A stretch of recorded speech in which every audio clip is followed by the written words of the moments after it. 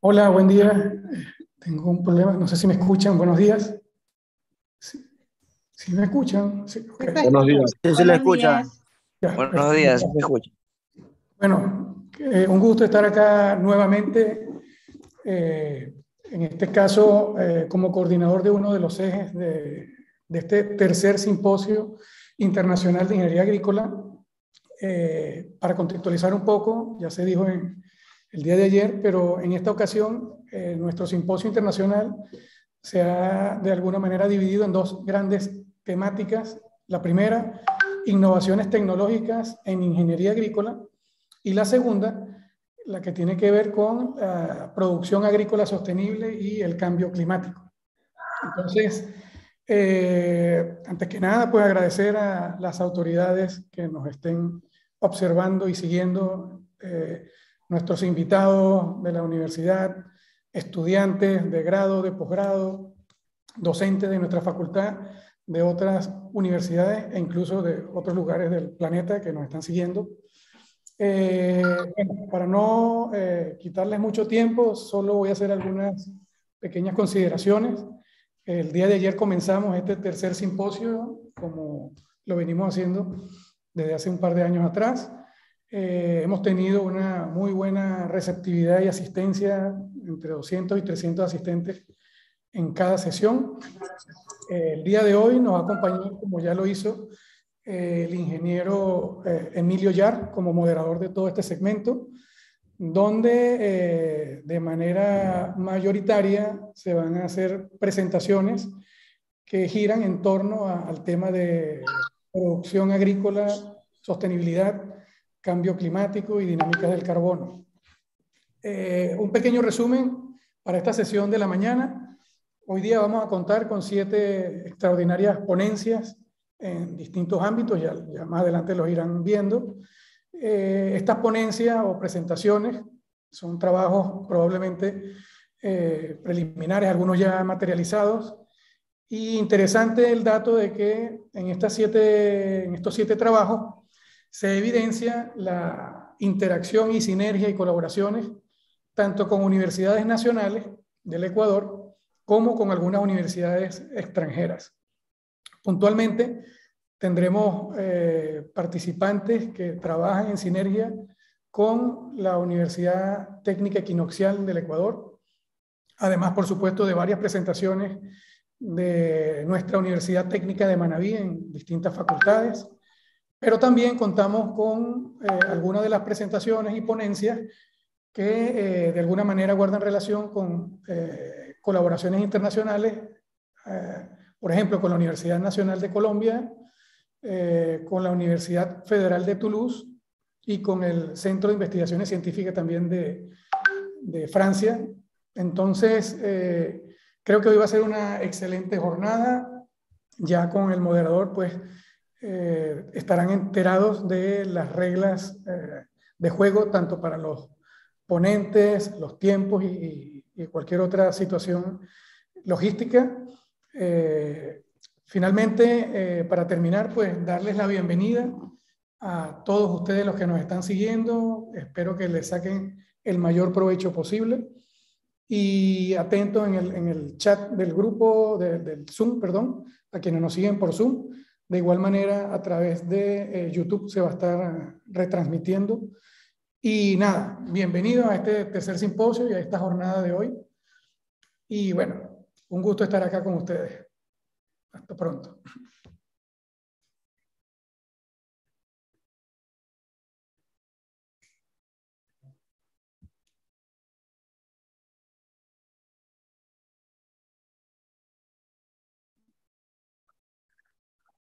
Hola, bueno, por mi parte quiero darles nuevamente la bienvenida a todos los asistentes en esta Convención Científica Internacional de la Universidad Técnica de Manabí y a su vez al tercer simposio internacional de la Facultad de Ingeniería Agrícola.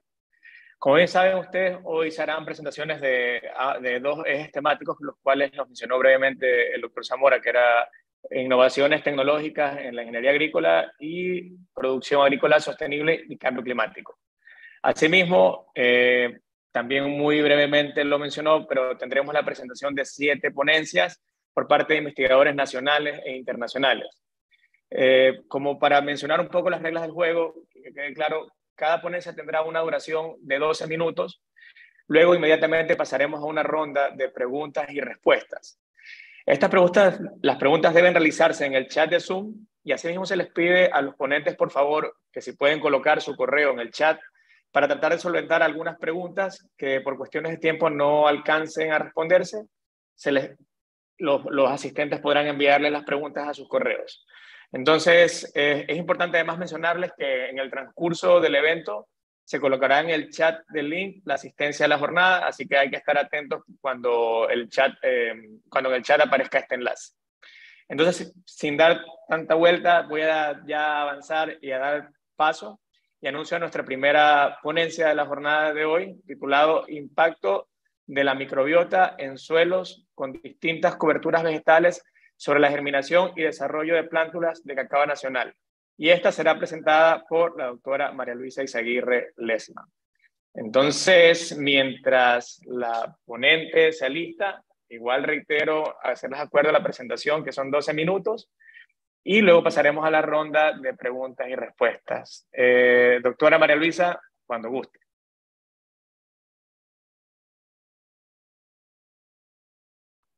El micrófono, doctora, creo que lo tiene apagado.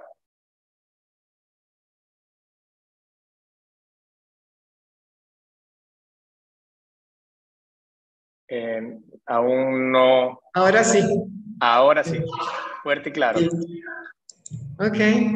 Bueno, buenos días a todos. Muchísimas gracias por esta presentación y por ah, esta permitirme, eh, esta es la tesis de pregrado de Jennifer Pamela Farsain, Juan Fernando Vélez, quienes por razones de trabajo no han podido, eh, digamos, hacerlo presente. Eh, el mundo entero, el mundo entero estamos enfrentando un cambio climático y el mundo entero la, está moviendo la agricultura de tradicional a una agricultura sustentable. La sustentabilidad de esta agricultura es obviamente en base a la microbiota de los suelos, no hay más para dónde mirar. Y eso trata este, este trabajo. Eh, la idea fue empezar a hacer un análisis cuál es la situación de la microbiota de los suelos, en los suelos manavitas cercanos, incluso a una hora máximo de distancia de la, de la FIA para estudiar la microbiota, entonces utilizamos uno de los trucos más viejos que hay, que es tratar de eliminar, eliminar, ni siquiera reducir, sino tratar de eliminar en lo posible la influencia del suelo y la influencia, digamos, eh, climática. Para eso, entonces, nos conseguimos dos fincas orgánicas una de plátano, otra de limón, maravillosamente cerca, no tan cerca como para influenciarse, y los análisis de suelos dieron unos resultados maravillosos, porque los suelos eran idénticos, literalmente idénticos. Hicimos análisis físico-químico, franco-arenoso, y como ven, es plátano, y esta es una foto, bueno, obviamente era una plantación de limón. Entonces, eliminamos el problema suelo, eliminamos el problema ambiente, nos mudamos entonces para un invernadero. Los suelos los trajimos a un invernadero de la FIAC que nos facilitaron ahí mismo en el campo La Teodor Mira y se sembraron plántulas de cacao nacional fino de aroma que también las trajimos de un campo experimental de la FIAC de tal manera que uniformábamos también la, lo que era la microbiota endofítica de las semillas. O sea, que andamos solamente para tener los resultados y van a ser solamente generados por la microbiota del suelo. Aquí está Juan y Pamela y todas estas plántulas las sometimos a estos tratamientos. A un grupo de 10, de 10 plántulas les agregamos 10 gramos por kilogramo de suelo de triple fosfato, otras son 3 micromoles de molibdeno con 5 micromoles de boro, 3 micromoles de molibdeno y 3 micromoles de eh, zinc. También usamos 5 milimolar de molaza o melaza, como le dicen, para enriquecer el carbono del suelo y aumentar así la relación carbono-nitrógeno. Y hicimos también una siembra asociativa entre las semillas, o sea, entre el cacao y un caupi, un frijolito normal de esta zona, para hacer uso de la fijación simbiótica de nitrógeno como donadora de nitrógeno eh, al suelo. En la última reunión de Glasgow de, la, de las Naciones Unidas, donde todos los países firmaron el convenio, el último convenio, pues se trató principalmente el uso de las leguminosas como fijadoras de nitrógeno y restauradoras de suelo. Y eh, aquí les resumo, en estos dos gráficos les resumo eh, todo lo que conseguimos, una información impresionante. Por supuesto, medimos clorofila, porcentaje de nitrógeno foliar, medimos peso seco, diámetros, altura, pero este es el crecimiento de las plantas debajo de los árboles de plátano y debajo de los árboles de limón. Lo que es, lo que es realmente les tengo que poner, que llamar la atención, es que estos daticos negros, estos punticos negros, son las plantas control, sea, crecidas en suelos sin ningún tipo de enmienda. Fíjense que a duras penas, a duras penas llegaron a 28 centímetros de altura. Mientras que las plantas control crecidas bajo estos árboles de limón, pues crecieron impresionantemente hasta los 40 centímetros y paramos el experimento a las 22 semanas de crecimiento por razones obvias. O sea, es un árbol que está creciendo, una funda de 2 kilos y tiene una limitación radicular. Lo que es increíble es que la microbiota debajo de estos árboles de plátano fue tan pobre que realmente cualquiera de los otros tratamientos superó y llevó a la altura de la microbiota del limón. O sea que tuvimos que echarle boron, molibdeno, zinc, fósforo, melaza para poderla eh, que creciera. Fíjense que debajo del limón, el, por el contrario, solo la microbiota sola del suelo fue capaz de simular todo lo que fue añadirle fósforo, molibdeno con zinc, con citoquinina, eh, boro un poquito menos y obviamente y con incluso la adición de melaza y de molibdeno con boro inhibió el crecimiento de las plantas con respecto a la control. Esto es interesantísimo. Eso nos dice que aquí hay una deficiencia de microbiota solubilizadora de fósforo, de zinc, de boro, mientras que aquí hay una abundancia impresionante de una, tiene que existir una taxonomía, una biodiversidad que tiene que ser digna de otros estudios. Tristemente y desafortunadamente, no tristemente, pero hay que aprender lo que son las relaciones eh, cuando se hacen experimentos, que la siembra asociativa con la leguminosa pues dio el peor crecimiento. Y esto, bueno, era como de esperarse porque el crecimiento del frijol es muy vigoroso, muy poderoso y obviamente compitió ya para las seis semanas era una planta que estaba totalmente fructificada, mientras que apenas 22 semanas para una planta de cacao es una bebé. Entonces, conclusión de este trabajo, pudimos detectar dos microbiotas muy cerca, solamente determinadas por el árbol, o sea, la especie agroforestal que domina el, el, digamos, el cultivo. ¿Por qué? Porque los exudados de cada una de estas especies son totalmente diferentes, están publicados en numerosos trabajos y sabemos que los exudados radicales son los que realmente secuestran para la planta y seleccionan la microbiota que le va a favorecer. Y con esto termino. Muchas gracias por su atención. Eh, muchas gracias, eh, doctora María Luisa, por su excelente trabajo y por su presentación. Eh, en realidad muestra valiosa información. Antes de, de chequear alguna pregunta, le voy a pedir que igual si puede ir colocando su correo en el chat para sí, por si acaso hay alguna pregunta, poder incluso canalizarla por ese, por ese mismo medio. Entonces, eh, déjame... Ok. Eh, si aquí tengo una pregunta, me parece que puede ser la, que, la única. Dice si hongos, o si los hongos o bacterias afectaría la germinación de las plántulas de cacao es que el, la microbiota del suelo. Sí.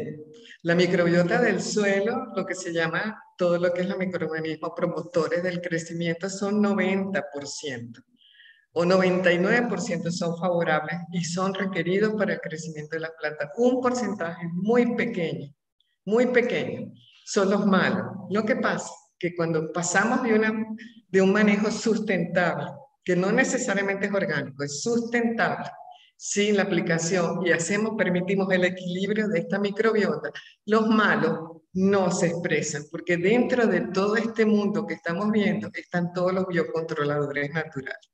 Por lo tanto, eh, el mundo se fija en los malos porque surgen por el mal manejo, digamos, tradicional, kilos toneladas de fertilizantes químicos y agroquímicos que matan, literalmente eliminan toda esta microbiota fabulosa del suelo y por eso los malos, en este caso, ganan. Ok, me parece que no hay ninguna pregunta más. Agradezco nuevamente mucho, doctora, por su presentación.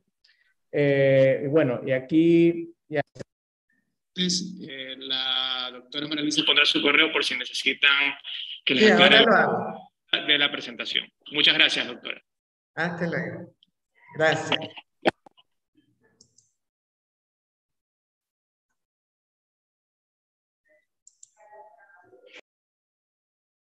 Bueno, para dar continuación a lo planificado en el simposio, tenemos eh, la presentación, la siguiente ponencia, que es titulada Análisis de métodos químicos para predecir la disponibilidad de nitrógeno en suelos cultivados con pastos tropicales.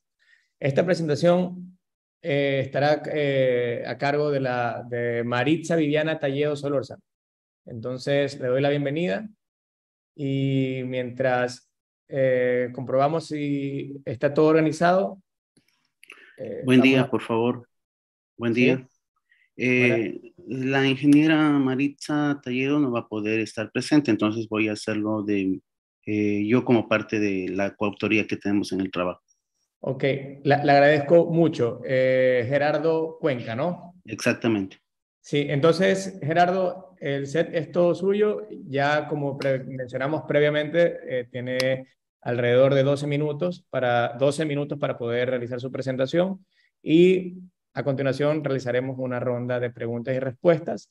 Asimismo, igual, eh, una vez que haya culminado su presentación, eh, le pediría eh, por favor que coloque en el chat su correo por si tenemos algún volumen de preguntas que habría que solucionar. Ya acabé, ya acabé de enviarles. Sí, ok. Entonces, el set es todo suyo. Bienvenido. Listo, gracias. Eh, bueno, bien, eh, gracias a todos por estar aquí presentes, escuchar esta ponencia que es parte de las eh, terceras jornadas de la Facultad de Ciencias Agrícolas y Agronomía, ¿no? Estoy como parte también del sexto, de la Sexta Convención Científica Internacional. Como bien sabemos, nosotros vamos a hacer o a analizar acerca de la, los métodos químicos para predecir la disponibilidad de nitrógeno en sueldos cultivados con pastos tropicales. Este es un estudio conjunto con eh, eh, eh, la Universidad Nacional de Colombia, la Facultad de Ciencias o Técnicas, gente OIL del Oriente Ecuatoriano, encargados de lo que es la exploración y explotación de petróleo. Y por esto es un trabajo conjunto, ¿no? Eh, la introducción está determinada en, función de lo que es el ciclo del nitrógeno. El mayor eh, fertilizante que se utiliza y que adolece en nuestros suelos es el nitrógeno. Eh, como podrán ver ustedes en los recuadros de negro, van a estar determinados los, las entradas de nitrógeno al, al sistema mientras que en los recuadros de color gris eh, van a estar eh, representados la manera como el nitrógeno se eh, encuentra disponible. Nosotros en este estudio vamos a hacer un análisis de esta parte, de esta doble vía que se da aquí entre la materia orgánica y cómo ésta entra a formar parte de las fracciones minerales que la planta necesita para poderlas absorber, es decir, en la mineralización. Ya que otra parte eh, eh, si se forma nitrato, eh, va como a manera de escorrentía o de erosión y lixiviación a lechos de aguas subterráneos, mientras que la otra parte que no entra al sistema planta se volatiliza al ambiente en forma de óxido nitroso, que es un gas que contribuye a los gases de efecto invernadero, al calentamiento global. Es decir, aunque no es tan eh, grande su presencia, apenas un 5%, pero su poder calórico es muy grande, ¿no? Incluso más por encima del dióxido de carbono y del metano. ¿Cómo se realizan por ahora los, eh, las determinaciones de fertilización? Mediante la materia orgánica, es decir, mediante el análisis de Walker Black. Para esto, primero se tiene una determinación del contenido orgánico fácilmente oxidable del suelo y mediante esta fórmula, obviamente, logramos determinar cuál es el valor eh, del carbono orgánico. Esto multiplicado por 1.724, que es el factor de Van Bemmelen, nos, puede dar, nos da perdón, un, porcentaje de la materia orgánica que se encuentra en ese suelo. Para esto vamos a hacer unos cálculos de cómo se está fertilizando actualmente. Tenemos que de cada 100 kilos de suelo, ¿no? Eh, eh, puede existir eh, por análisis, obviamente después de haber hecho el carbono orgánico y todo lo demás y haber multiplicado por el factor de Van Bemmelen, tenemos que alrededor de 2 kilogramos de materia orgánica. Esto nos quiere decir que tenemos 40 mil kilogramos de materia orgánica. De esto, el del 100% de materia orgánica, sabemos que el 5% está representado por nitrógeno total, es decir, 5 kilogramos, lo que nos da a nosotros un total de nitrógeno de 2.000 kilogramos. En el mejor de los casos, anualmente en zonas tropicales tenemos que en promedio se mineraliza 1.1%, dándonos un total de 22 kilogramos anuales de nitrógeno mineralizado. Ahora bien, las necesidades de fertilizante nitrogenado se, se determinan mediante el requerimiento del cultivo menos el aporte que da el suelo dividido para la eficiencia del fertilizante, que en este caso tenemos que es un 60%, y esto multiplicado por 100. Entonces, eh, lo que requiere el cultivo 100 menos 22 que aporta el suelo, eh, dividido para 60, nos da un total de 130 kilogramos de nitrógeno. Es así como en los actuales momentos nosotros estamos fertilizando, estamos añadiendo eh, este tipo de productos al suelo. Pero ¿cuál es la importancia del análisis cuantitativo de la mineralización? Uno, para racionalizar el uso de nitrógeno en la agricultura, otro para reducir los elevados costos de fertilizantes nitrogenados, eh, más aún ahorita eh, más acentuados por la guerra en Ucrania y el, factor este de el transporte eh, agravado por producto de la pandemia. Disminuir los efectos contaminantes del nitrógeno mineral exhibiado que se escurre a los suelos, mantos acuíferos y del nitrógeno desnitrificado que se emite a la atmósfera. Asimismo, para, es importante ya que permite realizar las recomendaciones de suministro de fertilizantes a los suelos y estima el aporte de nitrógeno por parte del suelo para un cultivo.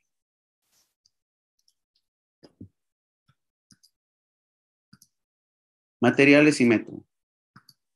En lo que se refiere a los materiales y métodos, nosotros vamos a determinar la localización y caracterización de la zona de estudio en la que hicimos este análisis, la toma de muestras de suelo, una caracterización química de los estimadores del nitrógeno mineral y los análisis estadísticos a considerar.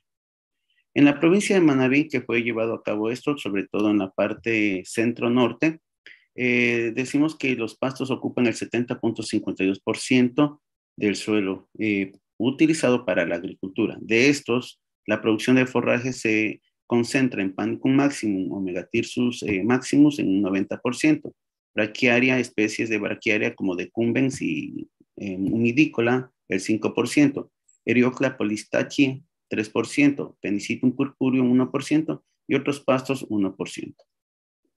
Los parámetros que se consideraron en este estudio fue el pH, carbono orgánico, materia orgánica, y los eh, índices predictores que vamos a analizar, los que son Illinois Soil Nitrogen Test y, Direct Stian eh, Distillation.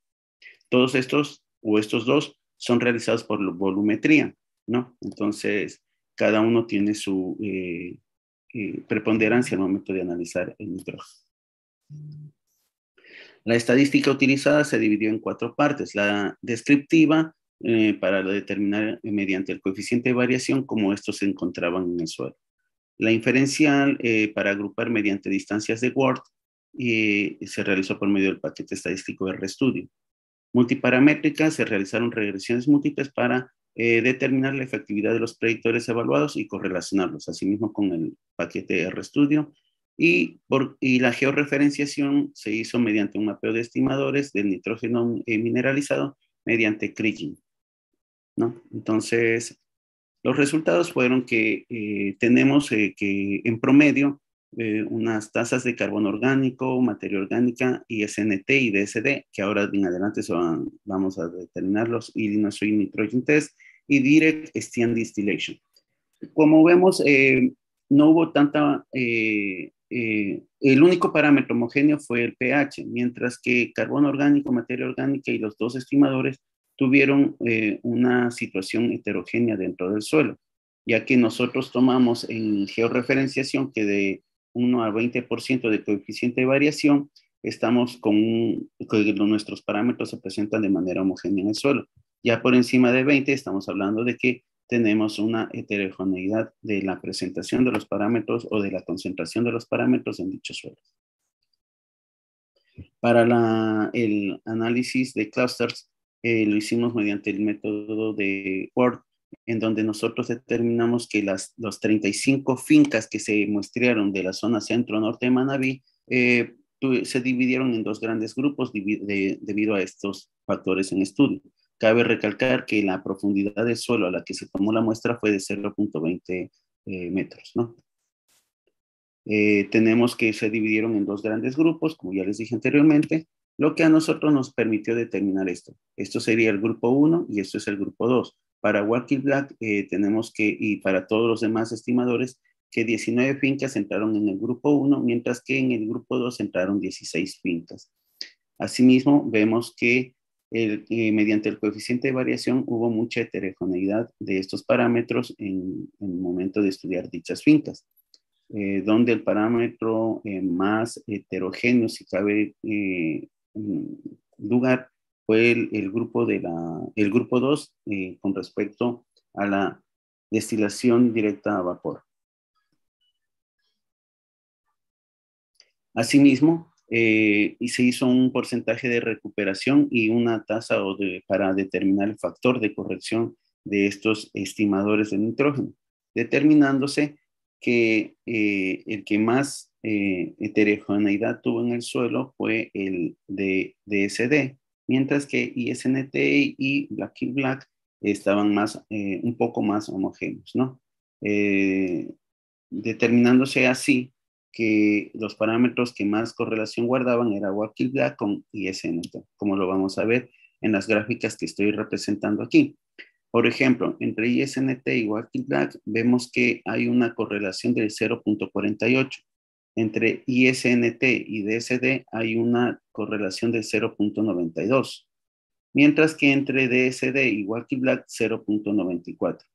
Esto nos conlleva a nosotros explicar o determinar que de acuerdo a esta eh, parametrización, tenemos que los mapas nos dan a nosotros entre la zona eh, norte que parte desde el Carmen hasta la zona central, eh, parte lo que es Chone y sus alrededores, tenemos que la materia orgánica se presentó de una manera casi homogénea, ¿no? Como les había dicho anteriormente, en relación muy importante con lo que es el DSD o Direct Steam Distillation, ¿no? Mientras que ISNT tuvo un mayor eh, eh, comportamiento hacia la heterogeneidad, debido a que nos presenta un mosaico de, atributos o de colores aquí que nos hacen determinar que este parámetro no tiene un comportamiento o no se comporta de manera homogénea en el espacio ni en el tiempo. Ojo, cabe determinar que el nitrógeno mineralizable está determinado o está directamente influenciado por la temperatura del suelo y por la humedad del mismo.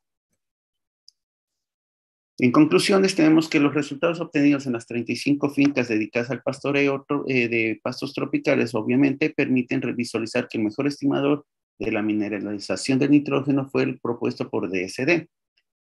Este estimador se correlacionó de mejor manera con Bartley Black, por lo que eh, este estimador es una herramienta alternativa para hacer recomendaciones correctas en cuanto a la cantidad de fertilizante nitrogenado que se va a disponer en un cultivo de pastos tropicales.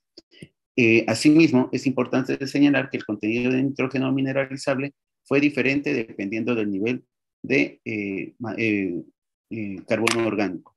En este caso, nosotros esto lo hemos hecho para pastos tropicales. Cabe mencionar que lo podemos hacer para cualquier tipo de cultivo, maíz, caña de azúcar, asimismo cultivos de ciclo corto y todo lo demás. ¿Para qué? Para que esto nos permita a nosotros tener eh, una mayor conciencia de qué es lo que estamos añadiendo a nuestros suelos, pero sobre todo, como recomendación también sería importante que se realicen evaluaciones adicionales sobre un conjunto de datos mayor, o sea, eh, digamos a nivel regional, todo lo que es costa, ¿no? Eh, para determinar junto con otras propiedades del suelo, tanto físico-químicas como biológicas, es decir, en biológicas la microbiota del suelo, los macroinvertebrados en el, del suelo, que también son, en algunos son considerados ingenieros de la materia orgánica, ¿no? Eh, cómo ésta se comporta en el mismo. ¿Para qué? Para que esto nos permita determinar que el cultivo de pastos sea una actividad sustentable. Y como lo dije, cualquier otro tipo de, cultivo sea sustentable, ya que eh, obviamente dependeríamos menos del nitrógeno en forma de fertilizante, es decir, de la urea, eh, y no, no, estaríamos propensos a esta situación de costos que terriblemente nos agobia en los actuales momentos. Eh, sin más que decir, gracias y alguna pregunta estamos prestos a responder. Eh, muchas gracias, Gerardo. Excelente presentación. Mira, aquí voy a empezar, hay algunas preguntitas. Eh, voy a empezar con la primera que me sale aquí en el chat, que es cómo se realizó la georreferenciación y selección de los sitios de muestreo.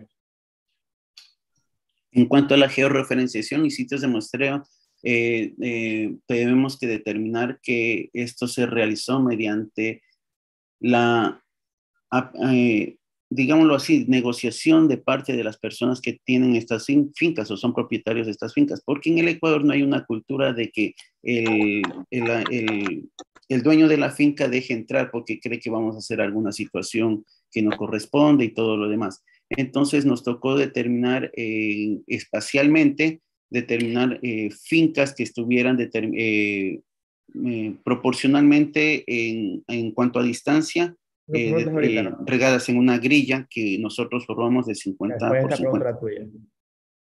¿Perdón? Sí, no. Sí, sí, perdón, estaba recetando las preguntas.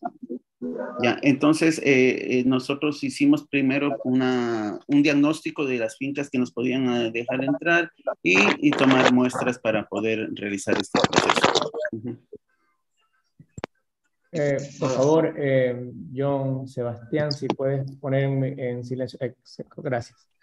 Bueno, disculpe, Gerardo. Aquí va otra pregunta. ¿Cuál fue la evaluación dada sobre los datos del pastoreo en todas las 35 fincas a las cuales hicieron la investigación. Ya, el impacto o la unidad de superficie que estaba determinada allí es, eh, va por encima del 80%, quiere decir que tiene un esfuerzo muy grande.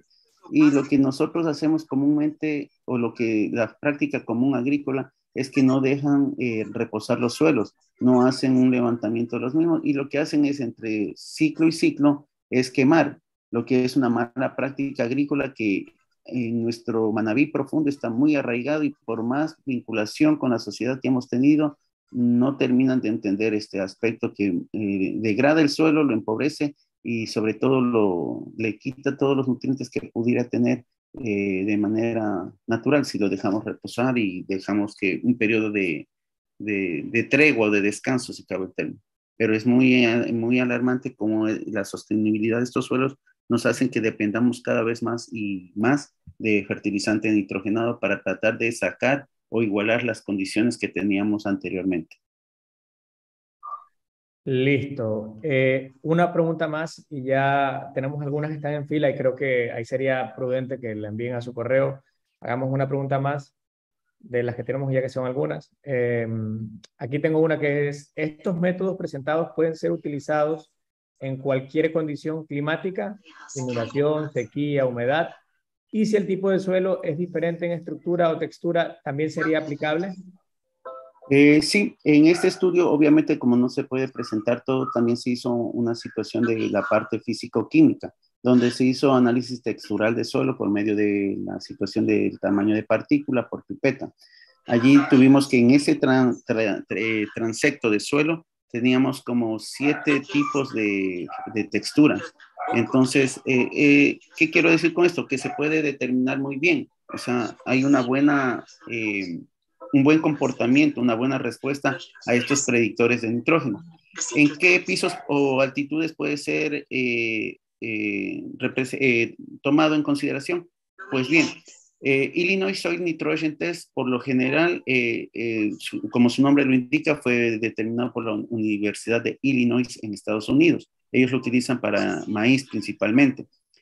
Eh, y hemos tenido una buena respuesta en México, Nicaragua, eh, Colombia. Como les dije, el CIAD ha puesto bastante énfasis en esto, pero también no ha dejado de lado el, el DSD, que es utilizado, por ejemplo, en, la zona de Brasil, en los arrozales de Brasil, y la Universidad de Minas Gerais también está ya realizando esto en otros cultivos y ha dado una buena correspondencia. Lo importante es determinar que con el con Black, que es normalmente con el que nos dirigimos o nos direccionamos, ver cuál de estos eh, tiene un mejor comportamiento o una buena respuesta en cuanto a correlación para poderlo utilizar de una manera efectiva y que, obvio, esto nos va a permitir a nosotros tener la sustentabilidad. Eh, ¿Qué quiere decir? no dañar el, el, suelo, o sea, el ecosistema suelo, eh, que la actividad sea rentablemente económica y que eh, la sociedad se beneficie de esto en general. Esto es. Eh, muchísimas gracias, Gerardo. Mira, por cuestiones de tiempo se nos quedan algunas preguntas en cola. Quiero eh, indicarle a los asistentes que un poco más arriba el compañero Gerardo dejó puesto su correo para que puedan enviar sus dudas. es una pena que por cuestiones de tiempo no podamos responder todas, pero bueno, ese mecanismo funciona muy bien. Y bueno, te agradezco muchísimo, Gerardo. En realidad fue una sesión bastante interesante y en realidad que aporta nueva información sobre la disponibilidad de nitrógeno. Entonces, muchas gracias nuevamente. Listo, muchas gracias a ustedes y sigamos adelante. Pasen bien. Listo. Eh, para seguir con el, con el... Bueno, antes de, de, seguir, sí me gustaría hacer un pequeño anuncio para los asistentes del evento que por favor en el chat únicamente sea para colocar las preguntas referentes al evento. Eh, veo que eh, se están colocando algunas presentaciones que se están presentando sus nombres y alguna cosa de más. No, eso ahí dificulta un poco para la lectura de las preguntas porque se van haciendo una cola en el chat y cuesta poco, cuesta mucho visibilizar las preguntas de los que están interesados en, generar alguna, eh, en resarcir alguna duda. Entonces, por favor, únicamente colocar preguntas. Bueno, para seguir con lo programado, eh, tenemos la ponencia titulada Variabilidad del carbono del componente arbóreo y edáfico en bosques secos tropicales de la costa ecuatoriana. Y esta será presentada por Michael Aníbal Macías Pro. Eh, por favor, Michael, te agradecería muchísimo si antes de empezar colocas tu correo en el chat. Y bueno, nuevamente para los asistentes, únicamente hacer preguntas y alguna otra cosita más que si tienen alguna duda y no se alcanza a responder, la enviarán al correo de Michael. Eh, Michael, cuando gustes, puedes empezar.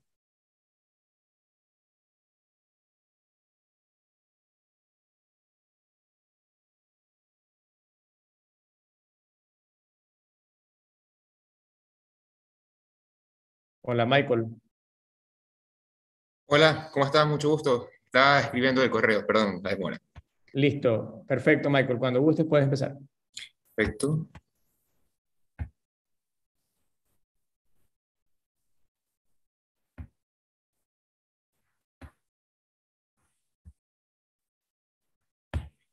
¿Me confirman, por favor, si se puede llegar a ver la, presentación? Sí, sí, Michael, eh, se aprecia correctamente. Ok, muchas gracias. Bueno, antes que todo, quiero darle las gracias a las personas organizadoras del evento por darnos la oportunidad de el día de hoy estar aquí, presentar un pequeño avance, adelanto de la investigación que se está realizando. Realmente, hoy ya soy portavoz, pero somos un grupo muy grande de personas que están realizando esta investigación. Así que mi más sincero agradecimiento para todos y cada uno de ustedes. Eh, por esta oportunidad.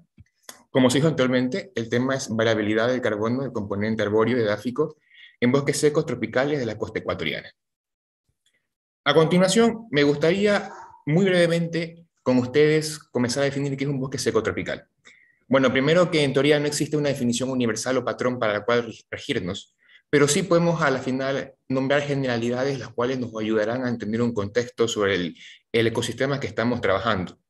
Sabemos que los bosques ecotropicales son ecosistemas que se encuentran en partes del globo terráqueo eh, donde se encuentran lo que vendría a ser climas tropicales, valga la redundancia. Tienen dos eh, periodos climáticos, un periodo climático húmedo que va entre 300 a 1500 milímetros de agua anuales y un periodo de sequía que puede ir entre 5 a 8 meses. Si hablamos exclusivamente de los árboles, los doseles del bosque, del bosque son típicamente más abiertos que el dosel denso y cerrado de una selva tropical. A nivel mundial, eh, son hábitat especies en peligro de extinción.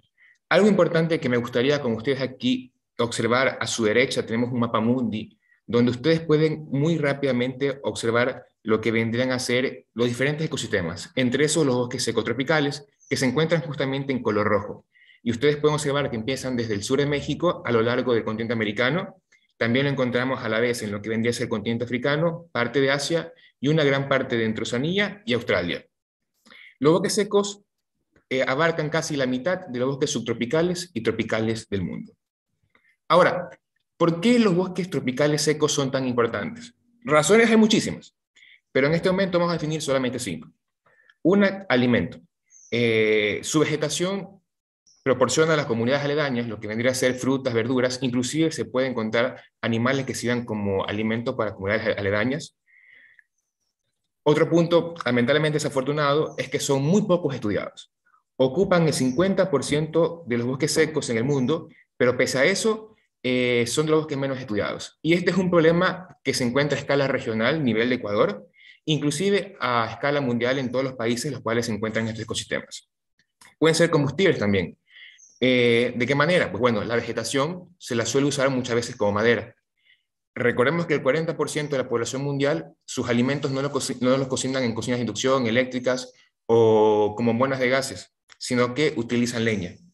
Ahora, esto, esto a su vez eh, tiene algo de malo, que ocasiona peligro. Son ecosistemas muy frágiles, altamente amenazados por el hombre y convertidos en pastizales. Obviamente, esto causa fragmentación. Eh, los árboles son talados para, para, para, la leña. Muchas veces también son utilizados estos terrenos para lo que vendrían a ser ganadería, agricultura, entre otros. Y algo muy importante, el cambio climático. Eh, los bosques secos tropicales son considerados a nivel mundial como sumideros de carbono. Entonces juegan un papel muy importante en lo que vendría a ser el incremento del efecto invernadero. Y bueno, estas son las señales muy rápidas por las cuales consideramos que los bosques secos tropicales son muy importantes. Ahora bien, definamos algo muy importante que vamos a hablar el día de hoy, y es sobre lo que vendrían a ser la cuantificación de los bosques secos, de la, de la, de la biomasa de los árboles mediante ecuaciones alométricas. En esta investigación vamos a utilizar lo que vendrían a ser ecuaciones que son nada más que modelos matemáticos, eh, y mediante los cuales vamos a aprovechar lo que vienen a ser características propias de los árboles para de esa manera indirecta eh, este, calcular lo que vendrían a ser la cantidad de biomasa de carbono que se encuentra en estos árboles de una manera muy amigable y que no perjudique el medio ambiente. En la siguiente diapositiva, algo importante que con ustedes me gustaría analizar es lo siguiente. Aquí tenemos nosotros como referencia una investigación realizada, publicada en el año 2019, entre el año 2006 y 2018 tenemos nosotros aquí en las barras de color negro todas las publicaciones en Scopus eh, realizadas para bosques eh, tropicales. Y en la barra gris que se encuentra al lado izquierdo de la barra negra, aquí, como ustedes pueden ver, vendrían a ser las publicaciones en Scopus sobre bosques secos tropicales. Como ustedes pueden notar, existe una merma considerable de publicaciones que se dan entre los bosques secos tropicales y los bosques tropicales entre sí. Si nosotros somos aún más exigentes en matemáticos, podemos chequear que nosotros a la final tenemos un factor de relación que, que por cada seis artículos de bosques tropicales, apenas tenemos uno de bosques tropicales secos en Scopus, lo que a la final garantiza y demuestra lo que dijimos nosotros, que son ecosistemas muy poco estudiados. Muy bien, entremos en detalle ahora en lo que se refiere a la metodología. Les presento. Nosotros en esta investigación hemos elegido tres bosques secos tropicales a lo largo del perfil costanero del Ecuador. El primero vendría a ser un bosque semideciduo de tierras bajas, Jama Zapotillo, en el Cantón Suba, en la provincia de Esmeraldas. Ustedes pueden apreciar aquí en pantalla lo que vendrían a ser eh, imágenes reales que se llegaron incluso a captar hace menos de dos meses para que ustedes puedan tener una idea del entorno de los, de los sitios en los cuales hemos realizado dicha investigación. El segundo vendría a ser un bosque deciduo de la cordillera costera del Pacífico Oriental, ubicado en Pacocho, ubicado en el Cantón Manta de la provincia de Manabí. El último es un bosque deciduo arbustal de tierras bajas, Jama Zapotillo, eh, ubicado en el Cantón Mangar Alto, en la provincia de Santa Elena. Todos tres son bosques secotropicales, pero cada uno es de un tipo diferente de bosques secotropicales. Muy bien, ya se los presenté. Ahora hablemos un poco de las características de los sitios de estudio. Como ustedes pueden chequear, si en este mapa aquí nos podemos apoyar en caso de que a la final no conozcamos bien un poco la geografía del Ecuador, pues aquí está el perfil costanero del Ecuador. Al norte tenemos lo que vendría a ser el, el bosque en Esmeraldas. Un poco más al centro tenemos lo que vendría a ser el bosque en Manabí. Y más al sur tendríamos lo que vendría a ser el bosque en Santa Elena. Como ustedes pueden observar, tenemos la tasa de precipitación que va entre los 1400 hasta los 829, dependiendo del tipo de bosque seco tropical, y las temperaturas que van entre 25 a 23 grados centígrados. Como pueden chequear ustedes, la fragilidad incluso de cada uno de los bosques puede ser entre muy alta, baja y alta. Ahora bien, ¿cómo se planteó el famoso diseño experimental? En cada sitio se establecieron cuatro parcelas experimentales.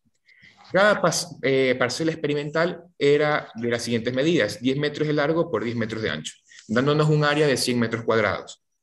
Ahora, cada parcela tenía tres transectos, que son las líneas aquí en NER que ustedes pueden observar, cada transecto medía 6 metros, y en cada transecto se, se ubicaron lo que venían a ser tres submuestras, perdón, se, obtuvieron tres submuestras a la profundidad entre 0,1 centímetros y tres submuestras a la profundidad de 40 a 80 centímetros.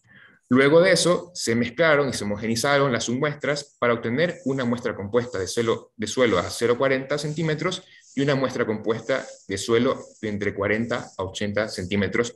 Obviamente, al final tendríamos entonces tres eh, muestras compuestas de cada una de las profundidades por parcelas. Explicado más al detalle, tenemos lo siguiente. Tres muestras compuestas de suelo eh, entre 0 entre 0 a 40 centímetros por cuatro parcelas por tres sitios de estudios nos darían 36 muestras compuestas. Y tres muestras compuestas de suelo entre 40 y 80, pues también al final nos darían 36 muestras compuestas. Cabe recalcar de que esta investigación continúa en curso, de que se plantea realizar en los dos periodos climáticos, en invierno y en verano. Actualmente los resultados que les voy a ustedes este, a mostrar son resultados que se han obtenido del primer muestreo que se llevó a cabo justamente en la época invernal de este preciso año calendario. Ok, ¿cómo se hicieron el análisis en laboratorios, por lo menos en referente a lo que es los análisis de carbono en suelo? Pues utilizamos justamente la técnica, ¿sí? disculpa que te interrumpa, te quedan aproximadamente tres minutos para que igual si puedes ir a avanzar un poco para ver los resultados preliminares. Ok, perfecto.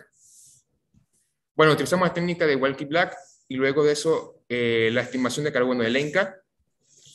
Utilizamos también lo que fue la ecuación alométrica de Jeroen Schaff, eh, donde tuvimos la, lo que fue la, la, alometría para la ecuación de biomasa de, arbórea de cada una de las especies.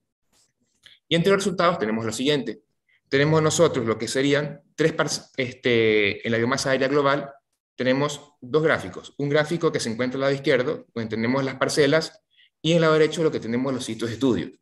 En el, lado, en el lado derecho podemos ver rápidamente la biomasa aérea global entre Suba, Mangar Alto y Pacoche, donde vemos claramente que Mangar Alto y Suba es mucho mayor su biomasa en comparación a la de Pacoche. Ahora bien, si vemos esto de aquí, nosotros podemos hacer un análisis mucho más exhaustivo haciendo referencia a lo que vendrían ser las especies. Como ustedes pueden chequear, por ejemplo, en Suba tenemos X número de especies, igual en Pacoche, y en Mangar Alto tenemos la mayor cantidad de especies. Entonces, esto a su vez nos ayuda a, entender por qué razón en Mangar Alto tenemos mayor cantidad de biomasa. Ahora bien, también en Suba y Pacoche tal vez no haya mucha diferencia entre ellas, pero en Suba, como recuerdan ustedes, tenemos temperatura, este, mayor nivel de agua por año, por lo tanto da origen a que tengamos mayor cantidad de árboles más altos, obviamente de un diámetro mucho más ancho. Finalmente, tenemos nosotros lo que vendría a ser el carbono orgánico del suelo, donde tenemos aquí nosotros el análisis también por parcelas y por sitios de estudios. Si nos enfocamos exclusivamente a lo que vendrían a ser sitios de estudios, tenemos lo siguiente. Aquí podemos ver una homogeneidad, por lo general, tanto en el, en el carbono orgánico del suelo de los tres bosques, es mayor en suba, es verdad. Y algo importante que sería bueno aclarar es que obtuvimos que el carbono orgánico del suelo que se obtuvo a los primeros 40 centímetros fue mayor al que se obtuvo en los segundos 80 centímetros. Ahora bien, tenemos aquí nosotros lo que sería finalmente un cuadro recopilatorio, eh, ya no a manera de gráfico, sino a manera obviamente numérico, para obtener un poco una mejor idea de todo lo que estamos hablando. Podemos chequear lo que justamente se ha dicho, que la profundidad 1 en todos los bosques es mayor incluso a lo que sería el carbono en la profundidad 2.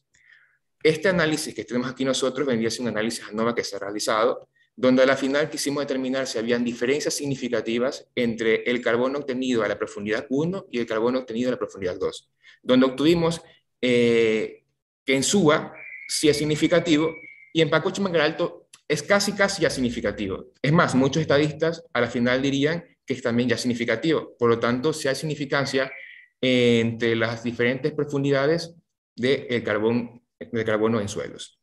Para finalizar, tenemos las conclusiones, que son tres, son muy breves. Dice, los tres subtipos de bosques secos tropicales pueden llegar a contener entre 55 y 85 megagramos por hectárea de carbono, cada uno por lo que desempeña un papel importante para contrarrestar el CO2 presente en la atmósfera. Y el carbono de componente arbóreo, mangaral y suba fue casi dos veces mayor al, presentado en Pacoche. Se estima que la variabilidad de biomasa y el carbono en suelos, en los tres subtipos de bosques, se debe principalmente a la composición estructura vegetal y los regímenes microclimáticos en cada ecosistema, debido a que la especie mayor cantidad de biomasa aérea presente en cada bosque fue diferente. Esto sin más, a la final, con, lo, referente a la exposición, si alguien desea hacer una pregunta, un comentario, pues estamos atentos a escucharlos. Muchas gracias. Muchas gracias, Michael. Eh, excelente ponencia, excelente tema, de mucho interés. A continuación, aquí voy a leerte, por el momento tengo dos preguntas. Bueno, aquí hay una tercera, entonces creo que con esas estamos. Asimismo, los que tengan alguna pregunta en este tiempo, la pueden ya, o sea, fuera de estas tres preguntas, pueden enviarlas al correo del, del ponente. Vamos con la primera.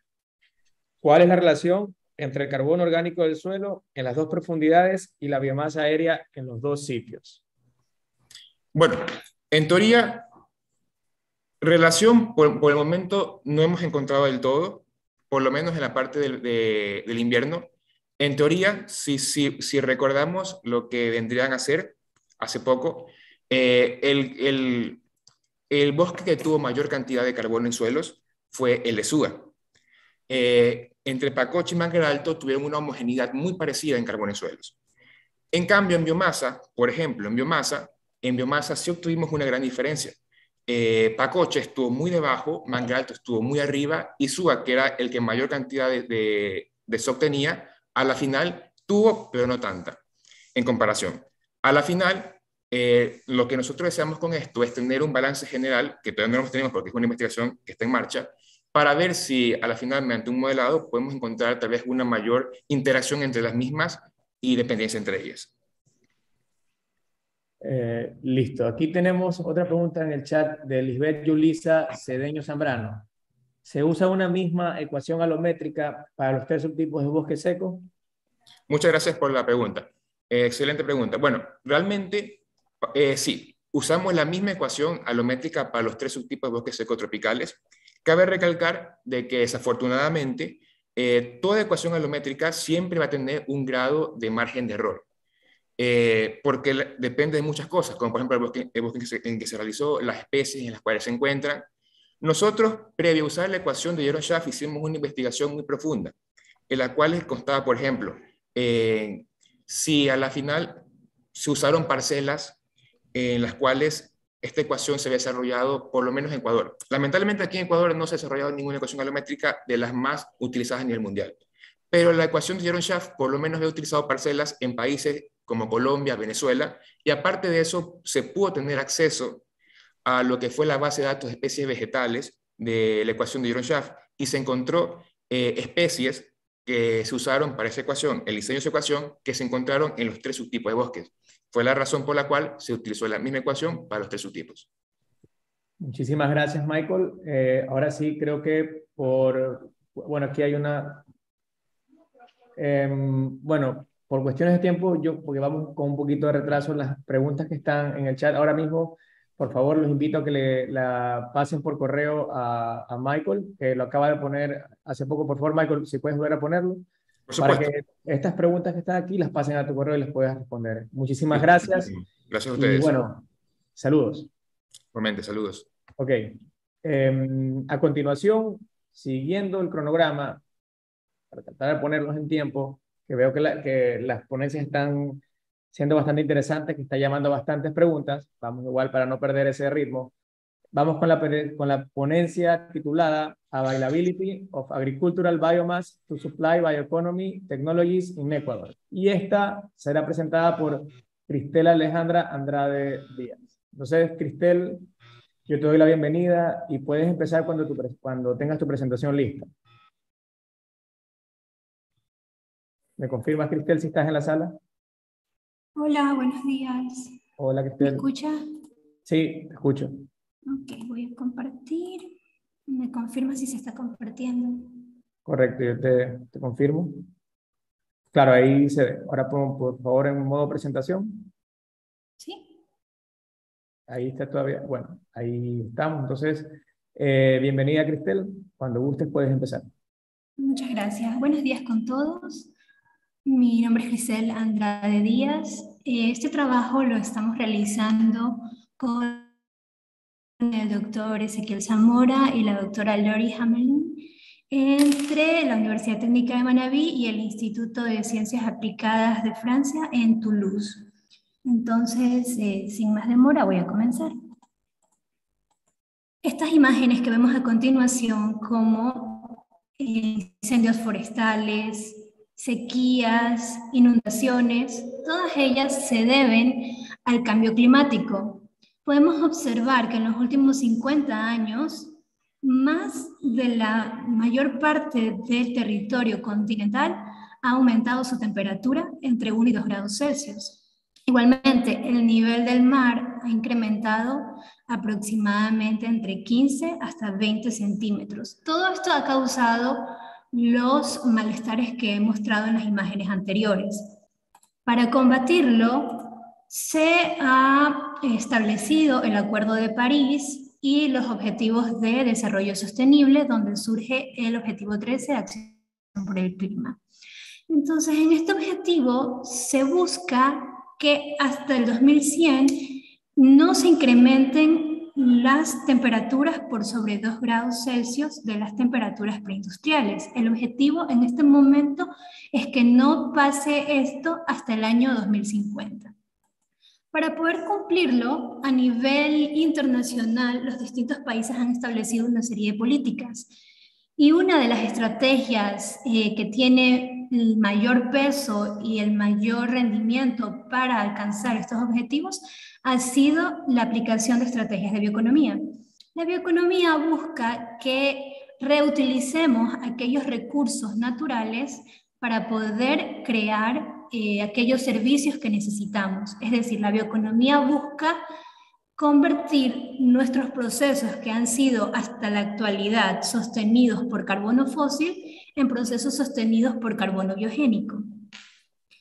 Dentro de este uso de la bioeconomía, las biomasas juegan un papel fundamental. Se estima que actualmente el 14% de la energía que se utiliza a nivel mundial proviene de las bioenergías. Sin embargo, los últimos objetivos que se han trazado eh, sobre todo en la Unión Europea y que se han aplicado en otros países, por ejemplo, en China, en ciertos países de Latinoamérica, apuntan que para el 2030 por lo menos el 32% de la energía que sostiene a la economía debe de provenir de recursos de la biomasa. ¿Por qué la biomasa es interesante para nosotros y sobre todo los residuos de agricultura? porque son altamente disponibles en todas las regiones con eh, eh, actividad actualidad se consideran primordialmente un residuo. Tienen eh, ciclos cortos de producción. En comparación con, por ejemplo, residuos forestales que toman mucho más tiempo de producción, los residuos de la agricultura tienen ciclos cortos que van en meses e incluso dentro de un mismo año se pueden tener tres, incluso cinco corridas de estas eh, provisiones de biomasas.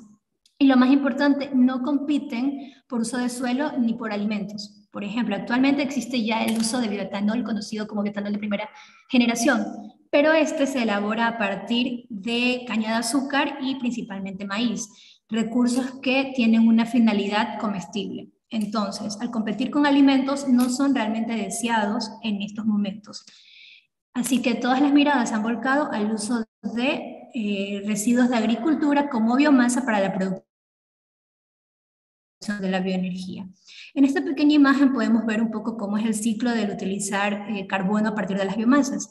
El carbono va a ser consumido en el proceso de conversión de producción energética eliminando carbono biogénico. Entonces, todo el carbono que se queme va a regresar a la atmósfera y nuevamente va a ser captado por esta biomasa cuando se vuelva a regenerar.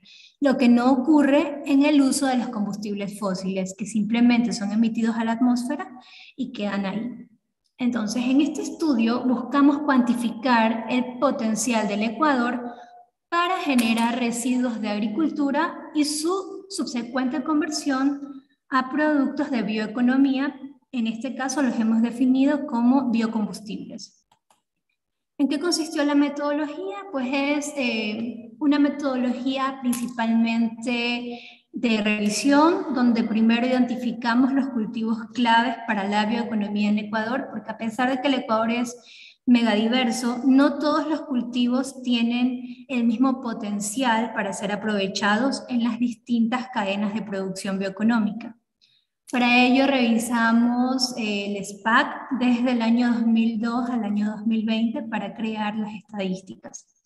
Utilizamos el mapa de uso del suelo y cobertura de vegetación del MAG y nos basamos también en información presentada en el Atlas de Bioenergía del Ecuador.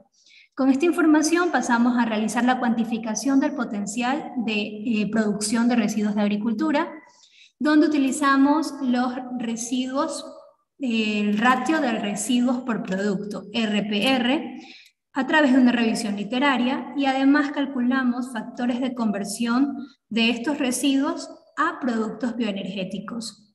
Y por último, determinamos cuáles iban a ser estos eh, potenciales de conversión en términos ya de bioenergía. Todo el cálculo se hizo de manera espacialmente explícita, pero a la escala provincial, porque fue la escala que nos eh, permite tener el SPAC. Entonces, primero identificamos los residuos claves para la bioeconomía, entre ellos surgen el arroz, el maíz, eh, la banana, plátano, cacao, café, caña de azúcar y palma. Por su gran eh, eh, cantidad de producción a nivel anual dentro del país. Sin embargo, los residuos como el trigo y la cebada también son de interés por su alto contenido energético. Por eso, a pesar de que presentan una baja producción, han sido considerados en este estudio. Para identificar el potencial de producción de estos residuos, calculamos los índices de RPR, algunos de ellos, sobre todo para cereales, han sido bastante estudiados a través de la literatura y existen ecuaciones que nos permiten determinar el RPR específico dependiendo del rendimiento de la localidad. Sin embargo, cultivos más eh, locales y de áreas tropicales que no son tan estudiados como por ejemplo el arroz, que es un producto a nivel mundial, como es el caso de la banana, que es principalmente un producto tropical, no contamos todavía con este tipo de ecuaciones tan específicas, pero sí hay varios estudios que han cuantificado ya el RPR. En este caso, el estudio que utilizamos fue hecho justamente para eh, la musa paradisiaca de mayor predominancia en el Ecuador. En esta etapa eh, retiramos algunos de los cultivos seleccionados en la etapa anterior para mantener solamente aquellos que presenten el mayor rendimiento, el mayor potencial y del eh, climáticas de tipo tropical. Para poder calcular el RPR, eh, utilizamos el rendimiento de producción que se obtiene a través de la producción declarada en el SPAC dividido para la superficie cosechada. El SPAC nos declara dos tipos de superficies, la superficie existente y la superficie cosechada. Entonces, para este tipo de cálculo se utiliza la superficie cosechada. El rendimiento de residuo se obtiene multiplicando simplemente el rendimiento de la producción por el coeficiente de RPR. Cabe mencionar que estos resultados se calculan en materia seca para poder hacer los cálculos de potencial bioenergético. Una vez que eh, revisamos la literatura para determinar los RPR, procedimos a crear estos coeficientes de conversión en varias cadenas de bioeconomía. Las cadenas de bioeconomía que seleccionamos son aquellas que han sido declaradas como de mayor interés a nivel mundial. Entonces tenemos pirólisis, liquefacción hidrotérmica, gasificación, digestión anaeróbica y fermentación alcohólica de segunda generación, es decir, únicamente con residuos lignocelulósicos. Esta etapa es muy delicada porque el factor de conversión depende netamente de las condiciones del proceso. Entonces, estos procesos se pueden dar en distintas condiciones dependiendo de cuál sea el producto que se quiere generar. Por ejemplo, pirólisis realizada a temperaturas de alrededor de 700 grados Celsius producen principalmente biochar. Puesto que este estudio busca la oportunidad de convertir nuestros residuos en biocombustibles, hemos seleccionado condiciones de proceso adecuadas para obtener el mayor rendimiento de biocombustible. A partir de esto obtuvimos eh, índices de, rendimiento indicados aquí como production rate, algunos están expresados en por ciento, pero en el caso de digestión anaerobia los hemos expresado como normal metros cúbicos.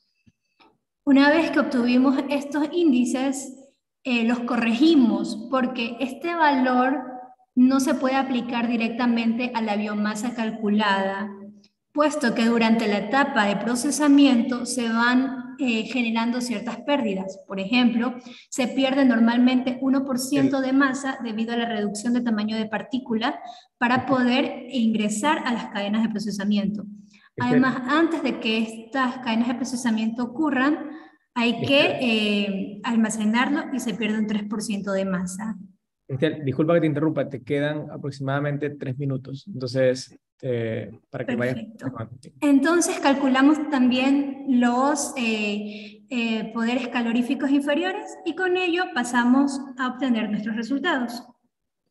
Una vez que obtuvimos los resultados, estos los presentamos en forma de mapas. Podemos ver que a nivel nacional, el mayor potencial para generación de eh, residuos agrícolas se presenta en Guayas, seguido de Manabí y los ríos y el oro.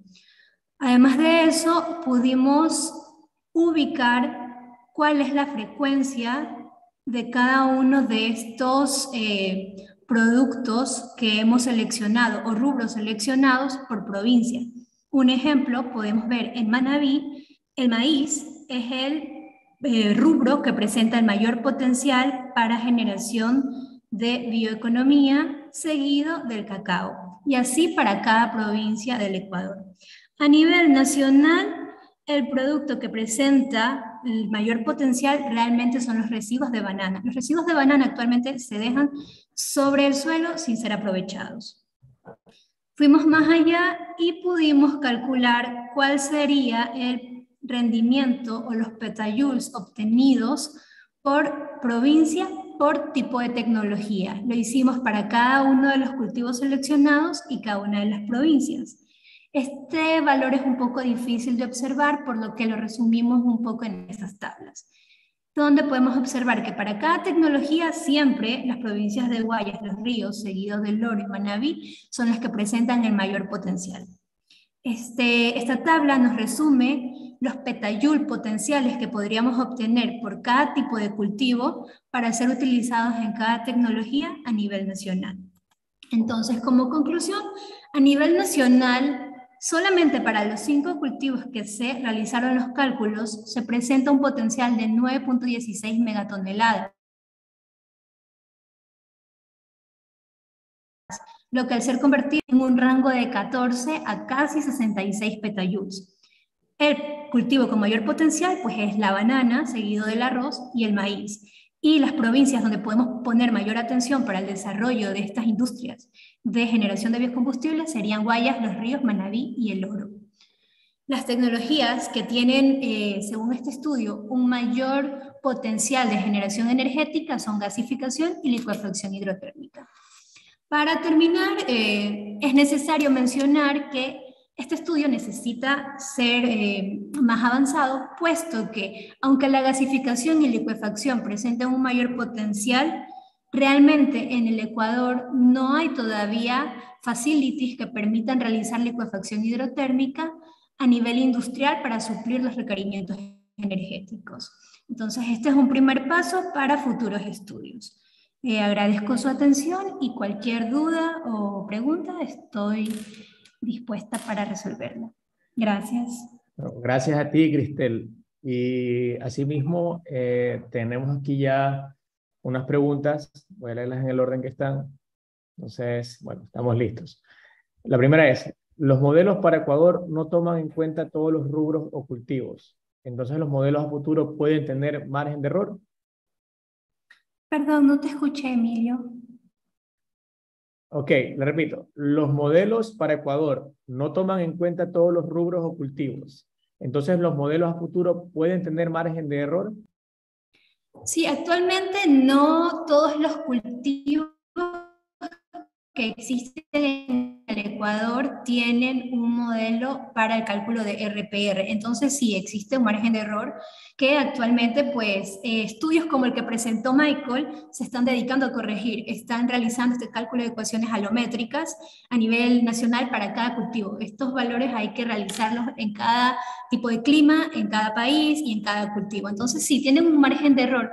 Sin embargo, como les dije, los cultivos que utilicé sí han sido validados para el Ecuador y los otros, pues hay estudios para países cercanos como eh, Brasil, Colombia, Perú, que pueden utilizarse como proxies. Entonces siempre va a existir un pequeño margen de error en nuestros modelos que lo logramos suplir aumentando la base de datos. Claro, y básicamente eso es lo que sucede cuando los estudios son novedosos y no se entienden toda la base de datos completa. Entonces, eh, tenemos una más que es, ¿se conoce cuál es el porcentaje de generación de energía en Ecuador a partir de bioeconomía, residuos, biomasas, etcétera? No, se están ahorita realizando estudios, sí hay datos, no te puedo decir un valor específico, pero por ejemplo, eh, se, se, realizó en el 2019 un proyecto que se llamaba Biodigestión en pequeñas fincas. Entonces, desde el Ministerio de Energías Renovables se promovió que las pequeñas, eh, pequeñas fincas, los pequeños agricultores empiecen ya a convertir sus residuos agrícolas en biogás. Si hay ya algunos biodigestores que se han instalado a nivel nacional. En cuanto a la producción de biotanol, actualmente se está realizando biotanol, pero de primera generación. De segunda generación todavía no se realiza a nivel industrial. Entonces existe un proyecto piloto que se está realizando en Quito para eh, montar una planta donde todos los residuos de cáscaras de piñón que se utilizan para la producción de biodiesel, porque el piñón produce biodiesel, pero las cáscaras hasta este momento han sido utilizadas como residuo. Actualmente hay un proyecto de investigación para crear una planta, una planta de producción de bioetanol a partir de esos residuos. No recuerdo en este momento cuáles son los petayul que se han calculado que van a generarse. Pero en cuanto a las otras tecnologías, aún eh, la bioenergía es un campo que recién está empezando, por así decirlo, en nuestro país, aunque ya tenga un par de años. Esto se debe principalmente a que nosotros, a diferencia de países como Europa, no hemos tenido hasta el momento eh, dificultades energéticas. Somos ricos en carbono, ricos en petróleo y además tenemos los recursos como hidrotérmicas. Entonces, en países como Europa, donde no cuentan con estos recursos, han tenido que obligatoriamente desarrollar estas bioenergías. Eh, ok, Cristel. Eh, en realidad, muchísimas gracias por responder las preguntas. Eh, tu presentación fue muy interesante. En realidad, el tema es muy novedoso, incluso por eso las preguntas sobre las bases de datos. Y sin duda alguna, esto deja la puerta para ahondar más en este campo. Entonces, yo te agradezco mucho y te voy a pedir, antes de, de dar paso al nuevo ponente, que por favor coloques tu correo en el chat, ya que veo que hay algunas preguntas que están ahí y por cuestiones de tiempo tenemos que avanzar. Te agradezco una vez más. ha sido un gusto y espero que vuelvas en futuras ediciones. Muchas gracias, igualmente, un gusto. Ok. Bueno, entonces eh, Cristel va a poner el correo para las, personas que han hecho las preguntas y así poder resarcir esas dudas. Entonces, a continuación tenemos la ponencia titulada Influencia de las fases lunares en las actividades de siembra y bioestimulantes en el cultivo de habichuela, Azoilus lunatus, y quien se encargará de dar la presentación será Lucas Villegas, Alfredo Patricio. Entonces, por favor, me confirmas, Lucas, si estás ya en sala. Perfecto, muy buenos días eh, a toda la audiencia que está presente en la Convención Científica Internacional. El tema que vengo a proponer...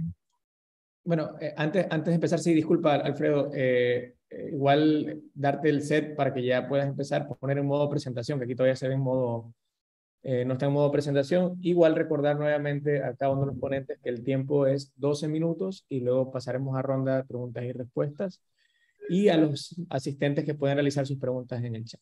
Ahora sí, bienvenido. Perfecto. Quisiera preguntar si se puede ya observar la presentación. Sí, se observa. Ok, muchas gracias. Okay. Muy amables a todos y bienvenidos a esta ponencia en el marco de la Sexta Convención Científica Internacional. El tema propuesto es la influencia de las fases lunares en las actividades de siembra y bioestimulación en el cultivo de habichuela, propuesto por el ingeniero Alfredo Lucas Villegas, de quienes hace la ponencia, del doctor Osvaldo Posado como tutor. El uso de las fases lunares en las actividades agrícolas ha sido documentado con experiencias altamente positivas en varios cultivos. se marca el tema de las leguminosas, porque son uno de los cultivos que más pues, eh, están dentro de nuestro cultivar en Manabí, como tales como el maní, el frijol y la sierra de la alberja. Sin embargo, se carece de información sobre el efecto que tienen las fases lunares en el cultivo de Facilus lunatus o habichuela. El objetivo propuesto fue evaluar la influencia de las fases lunares sobre el comportamiento morfológico y productivo de la habichuela en las actividades de siembra y bioestimulación. La parte eh, eh, de diseño experimental, pues se aplica un, diseño de bloques completamente al azar, distribuido en, diferentes eh, tratamientos, el tratamiento 1 consistió en sembrar la bichuela en la fase luna nueva y hacer aplicaciones continuas del exhibiado de vermicompost que está en una dilución de 3,10 en la fase luna nueva a los 29 y a los 61 días, es decir, en las siguientes lunas nuevas. El tratamiento 2 consistió en sembrarlo, sembrar la bichuela en cuarto creciente, más dos aplicaciones del exhibiado de vermicompost en cuarto creciente. Las siguientes cuarto, fase cuarto creciente que coinciden con los 30 y 60 días posteriores a la siembra.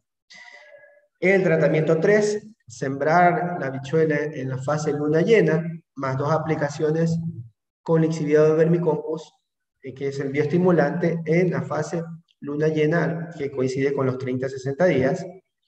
Y el tratamiento 4, sembrarlo en cuarto menguante, más dos aplicaciones del de vermicompost, en la fase cuarto menguante a los 29 y 60 días después de la siembra.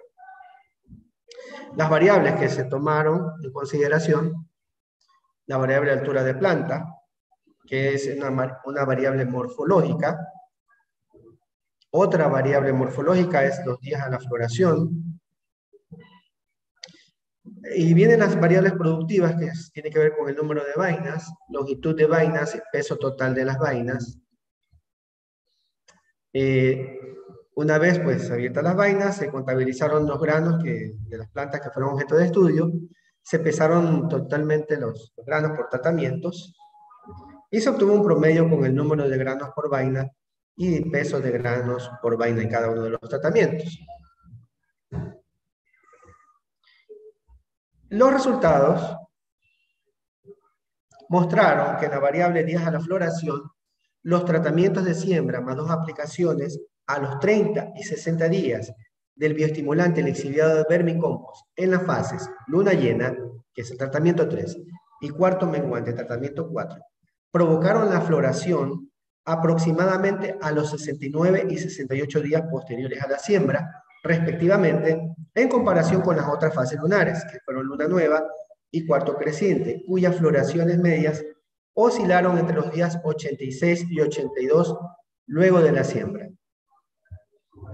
Sin embargo, la utilización de las fases lunares en las actividades de siembra y bioestimulación en la altura de planta y en las variables relacionadas al rendimiento no produjeron diferencias significativas entre los tratamientos.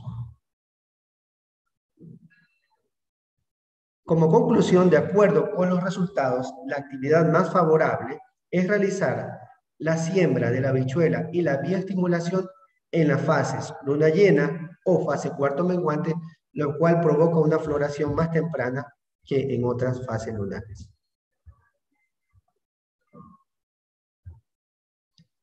Eh, señores, es la ponencia que vengo a, plantear el día de hoy.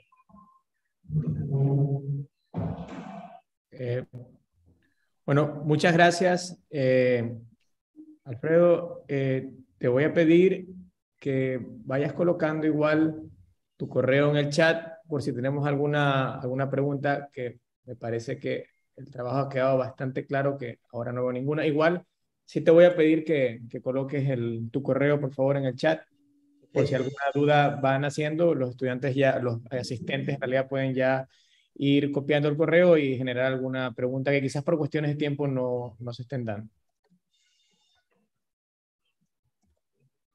te, agradezco mucho, Alfredo, y en realidad el tema muy interesante y espero en realidad que puedan, se puedan generar esas dudas y te las puedan alcanzar a preguntar, aunque sea en el chat.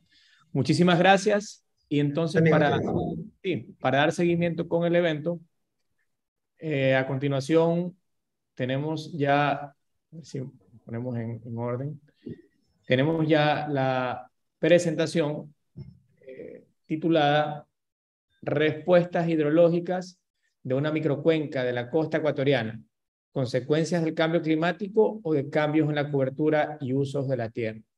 El ponente será Williams José Méndez Mata. Entonces, doctor Méndez, eh, si está listo, usted puede empezar, el set es todo suyo. Bienvenido.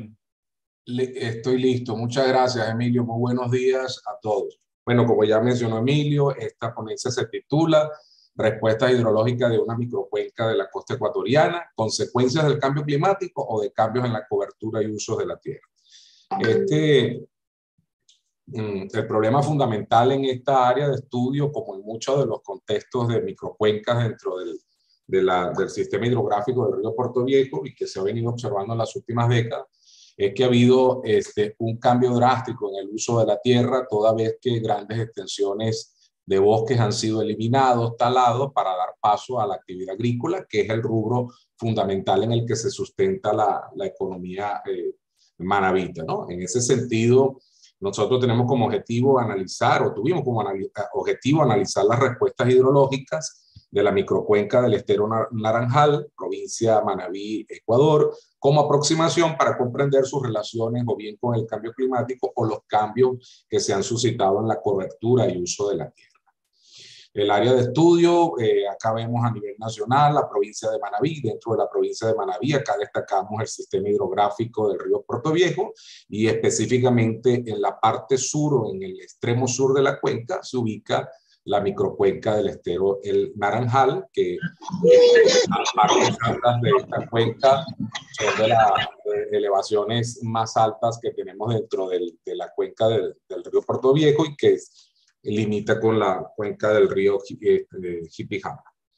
Eh, la metodología fundamentalmente se basó, por una primera parte, hicimos un análisis de distribución espacio-temporal de las precipitaciones. De igual manera, se hizo análisis de frecuencia de eventos extremos de, precipitación, generándose curvas de intensidad, duración, frecuencia, profundidad, duración, frecuencia. Se estimaron yetogramas de precipitación, yetogramas de, de, de excesos de precipitación mediante el modelo del Servicio de Conservación de Suelos de los Estados Unidos. Se estimaron las intensidades efectivas de la lluvia, se hizo una delimitación de, de la cuenca mediante geoprocesamientos utilizando ARGIS, luego se hicieron las mediciones y cálculos de los parámetros morfométricos del, de la cuenca, se eh, analizaron sus características geomorfológicas, se estimó la curva ponderada CN, que es una curva de escurrimiento del modelo del Servicio de Conservación de Suelos, se estimaron los tiempos de concentración y el tiempo de respuesta y el tiempo de retardo al, al pico del hidrograma como tiempo de respuesta del sistema. Y finalmente hicimos una estimación mediante el modelo del GEC HMS, un software hidrológico hidráulico de los hidrogramas de crecida. Este, se utilizaron para el análisis de frecuencia las láminas máximas en 24 horas de la estación 24 de mayo y las otras estaciones que complementan el grupo que observamos allí lo hicimos para hacer el análisis de distribución espacio-temporal de la lluvia. Esto arrojó lo que, este mapa que estamos viendo acá, donde vemos estas isolíneas y podemos ver que las precipitaciones se distribuyen en la cuenca de manera desigual, creciendo en sentido este-oeste y para todas las estaciones que se tomaron en, en, el estudio muestran un patrón o comportamiento pluviométrico anual muy similar con una distribución unimodal. Eh, en cuanto al análisis de frecuencia de eventos extremos, esto nos arrojó láminas, por ejemplo, para este, una hora de duración de la lluvia de 78 milímetros aproximadamente para un periodo de retorno de 50 años y de 87 para periodo de retorno de 100 años. Y para duraciones de eventos con duraciones de 24 horas, tenemos por el orden de los 133 milímetros con 50 años de periodo de retorno y 143 milímetros este, con 100 este, eh, años de periodo de retorno, con lo cual eh, podemos ver que estos son los escenarios máximos que pudiesen ocasionar este, eh, eventos de crecidas, e, eventos de, de desborde, de inundaciones, y sin embargo en los registros muchas veces se observan que para eventos de precipitaciones que no están dentro de estos rangos, eh, han, han, ocasionado problemas de, de crecidas y, y, de desborde y ya vamos a ver, a entender un poco por qué eso puede ser así. Los parámetros morfométricos del sistema que se calcularon tienen que ver con cinco variables fundamentales, escala de la cuenca, gradiente y forma del relieve, forma de la cuenca, extensión de la red de drenaje y orden y magnitud de la red de drenaje y en síntesis todos nos indican de un sistema muy este, con condiciones desde el punto de vista físico eh, muy propenso a generar crecidas, sobre todo por, la, por las, este, mm, las características del relieve y, de, dependientes pronunciadas en este sistema de colinas que, que, que, caracteriza el relieve en, en, esta cuenca. ¿no? Eso lo pudimos también comprobar en estos este, análisis de eh, altimétricos, donde generamos curvas exográficas, exométricas, histogramas de frecuencias de altitud y perfil longitudinal del cauce principal del estero el naranjal. ¿no? Estos son los otros parámetros que complementan el análisis y acá podemos observar que es una cuenca que tiene una red de drenaje bastante de manera dendrítica, toda vez que está encajada sobre materiales o unidades litológicas sedimentarias muy sensibles a los procesos erosivos y, y en consecuencia generan una alta producción de, de sedimentos. ¿no? Eh, desde el punto de vista de su configuración geomorfológica, como podemos observar en los perfiles transversales, son valles típicos, valles en forma mm, eh, eh, en V, con una, una, planicie un poco más ancha hacia la salida del, del, del, sistema, donde hay un mejor desarrollo de la planicie aluvial, mientras que hacia las partes más altas, colinosa, cuenca media y alta, tenemos laderas o vertientes con pendientes mucho más pronunciadas, que condicionan este escurrimiento mucho más rápido y una, y una concentración más rápido de, de los flujos. ¿no?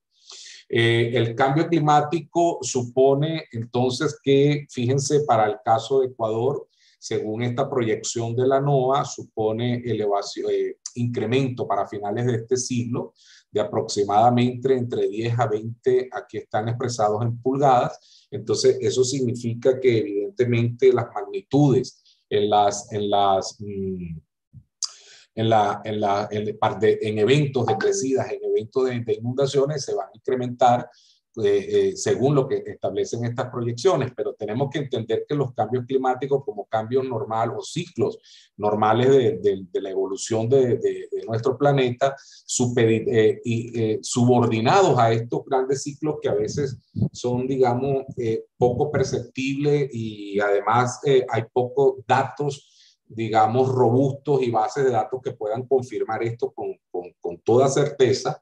Aunado a ello, también, digamos, hay otros, eh, eh, a ese ciclo mayor se le une o se, se, le subordina otras acciones que tienen que ver más bien con la intervención humana, ¿no? con la intervención del hombre en el medio y que también están creando desequilibrio en el comportamiento hidrológico de las cuencas y en consecuencia de alguna manera está incidiendo en la frecuencia y en la magnitud de ocurrencia de eventos de inundaciones y de crecida. Fíjense en esta imagen Observamos el mapa de uso de la tierra del año 1990 para la cuenca del río Puerto Viejo, 2014, y a, simple vista podemos observar entonces que ha habido un cambio muy drástico en, en donde los colores verdes que corresponden a la, a las áreas de bosque nativos han, se, han ido eh, desapareciendo este, mm, significativamente. Para el, 2000, para el año 90 se hablaba de aproximadamente 962 kilómetros cuadrados, se reportaba, mejor dicho, de bosque nativo y para el 2014 ya hablamos de 606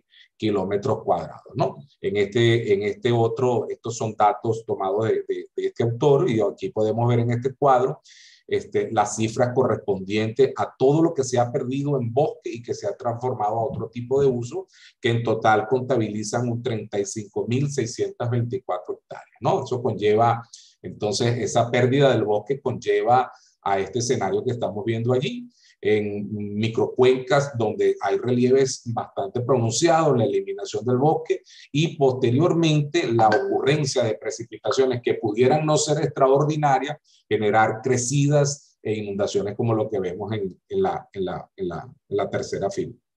Eh, en estas imágenes de Google Earth que tenemos acá, hacemos un rápido análisis este, multitemporal. Aquí está la cuenca del, río Naranjal, del estero, la microcuenca, y en 20 años podemos observar claramente cómo el, deterioro eh, y, el incremento de la fragilidad de ese sistema, la ocurrencia de inundaciones crecidas es más que evidente cada vez, toda vez que observamos que las áreas boscosas han, han sido eliminadas, ¿no? Entonces luego esto por supuesto, nos permitió hacer una estimación de los caudales pico de las crecidas, utilizando la información del 2014, donde eh, se tomaron en cuenta los tipos de uso, las texturas de los suelos, aplicamos el modelo del, hidrograma unitario del Servicio de Conservación de Suelos y generamos entonces unos, eh, estimamos, perdón, unos caudales pico de crecida donde observamos estos valores que tenemos acá con los, los respectivos hidrogramas. Por supuesto, aquí nos falta ahora, entonces ahora este, estamos por, esto lo hicimos con la información del, del 2014, tenemos que hacerle la, el, el, mismo análisis este con la del, del año 90, es decir, estimar la curva ponderada para, con la información del año 90, de tal manera que podamos tener mm, información precisa en cuanto a porcentaje este, y de incremento en, en, esos caudales este, como producto de este tipo de, de intervención. ¿no?